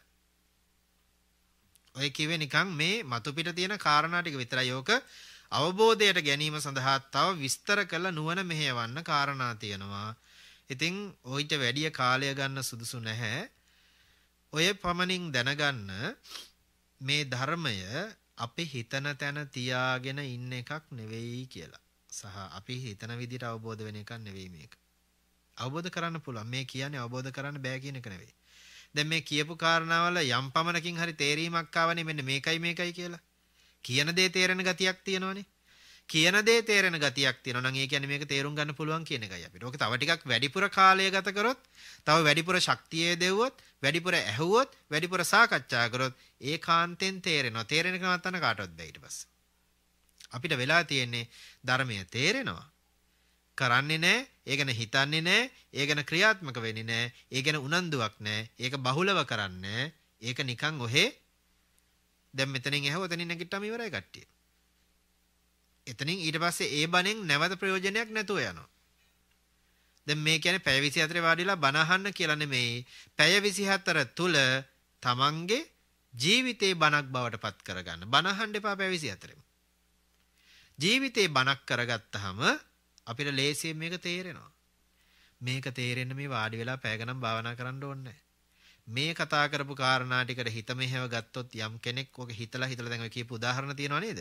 ඕවත් එක කල්පනා කරලා බැලුවොත් එහෙම අපේ තියෙන මල කඩ ටට් ටට්ටක් ගාලා ගැලවිලා යනවා. වෙලා තියෙන මල කඩ බැඳිලා තියෙන කාගෙත් ළඟ. પરම්පරා ගාන කාරම් බැඳිච්ච තියෙනවනේ. ඒ ටිකේ මල කඩ තට්ටුව ගැලවුනොත් එහෙම මෙටල් එක මොකද්ද කියන එක හොඳට තේරෙනවා. අපිට පේන්න පටන් ගන්නවා මොකද්ද මේ ඇතුලේ තියෙන්නේ කියලා. ඒකට උදාහරණ සහිතව ධර්මය නැවත නැවත නැවත නැවත මෙනෙහි කරන්න මෙනෙහි කරනකොට ඔය මෝඩකම් මොට්ටකම් ඔක්කොම ටික දුරු වෙලා නුවණ උදා වෙනවා. ඒකට කියනවා අවිද්‍යාව දුරු වෙලා විද්‍යාව උදා වෙනවයි කියලා. ඉතින් විද්‍යාව තියෙන්නෙත් අපි ළඟ අවිද්‍යාව තියෙන්නෙත් අපි ළඟ දෙක ළඟ ළඟ තියෙන මෙහෙම. අවිද්‍යාව ඇතෑරපු ගමන් හම්බ වෙන්නේ මොකද්ද? අවිද්‍යාව ඇතෑරපු ගමන් හම්බ වෙන්න තියෙන විද්‍යාව. විද්‍යාව ඇතෑරී ගමන් හම්බ වෙන්නේ මොකද්ද අපිට? වෙලා තියෙන්නේ ඒක. ඕන මොකද්ද කියලා තීන්දුව කරගන්න බැරි ප්‍රශ්නයක් තියෙන්නේ. මොකද කරන්න බැරි කම නෙමෙයි. දන්නේ නැති කමත් නෙමෙයි, කරන්න බැරි කමත් නෙමෙයි, වෙලාව නැතුවත් නෙමෙයි. මොකද්ද ඕන කරන්නේ මොකද්ද කියලා තීන්දුවක් කරගන්න බැරි ප්‍රශ්නය මිසක නැත්තම් අපිට කිසිම ගැටලුවක් නැහැ. අපි කොයි පන්සලට ගියත් කොයි හාමුදුරන්ගෙන් බණ ඇහුවත් අන්තිමට කරන්නේ නිවන් දකින්න උත්සාහ කරන එකනේ. අන්තිමට හම්බ වෙලා නැත්තේ ඇයි කොහේ ගියත්? අපිට ඕන මොකද්ද කියලා තීන්දුව කරගන්න බැරි කමත් එක්ක ප්‍රශ්නයක් අපිට තියෙන්නේ. ඒක මේ පන්සලේවත් ආරණ්‍යවත් අසපුවේවත් තායිලන්තේවත් නේපාලේවත් ශ්‍රී ලංකාවේවත් මහායානෙවත් තේරවාදේවත් තියෙන ප්‍රශ්නයක් නෙවෙයි. අපේ තියෙන මෝඩකමේ ප්‍රශ්නයක් තියෙන්නේ. ඒක තේරුම් ගත්තොත් මේක තේරෙනවා. ඒක කොහෙද කියන එක ප්‍රශ්නයක් නැහැ. ඒක තේරුම් ගන්න ඔය ඇත්තන්ට මේ කතා කරපු ධර්මකාරණා ටික උපකාරක ධර්මයක් වේවා කියලා දේශනාව අවසන් කරනවා. පරම්පරාවල දර්ශන මහත්මයාගේ නමින් නෝන මහත්මයාගේ නමින් ඔබ අප හැමදෙනාම නමින් මියගිය ඥාතීන් පින් කැමැති ඇත්තෝ මේ පින් අනුමෝදන් වීමෙන් සුවපත් භාවයට පත්වෙත්වා ඒ ඇත්තන්ටද සසර දුකෙන් නිදහස් වීම වේවා කියන අදහස ඇති කරගෙන අපි ඥාතීන්ට පින් අනුමෝදන් කරවමු ඉදම්මේ ඥාතීනං හෝතු සුඛිතා හොන්තු.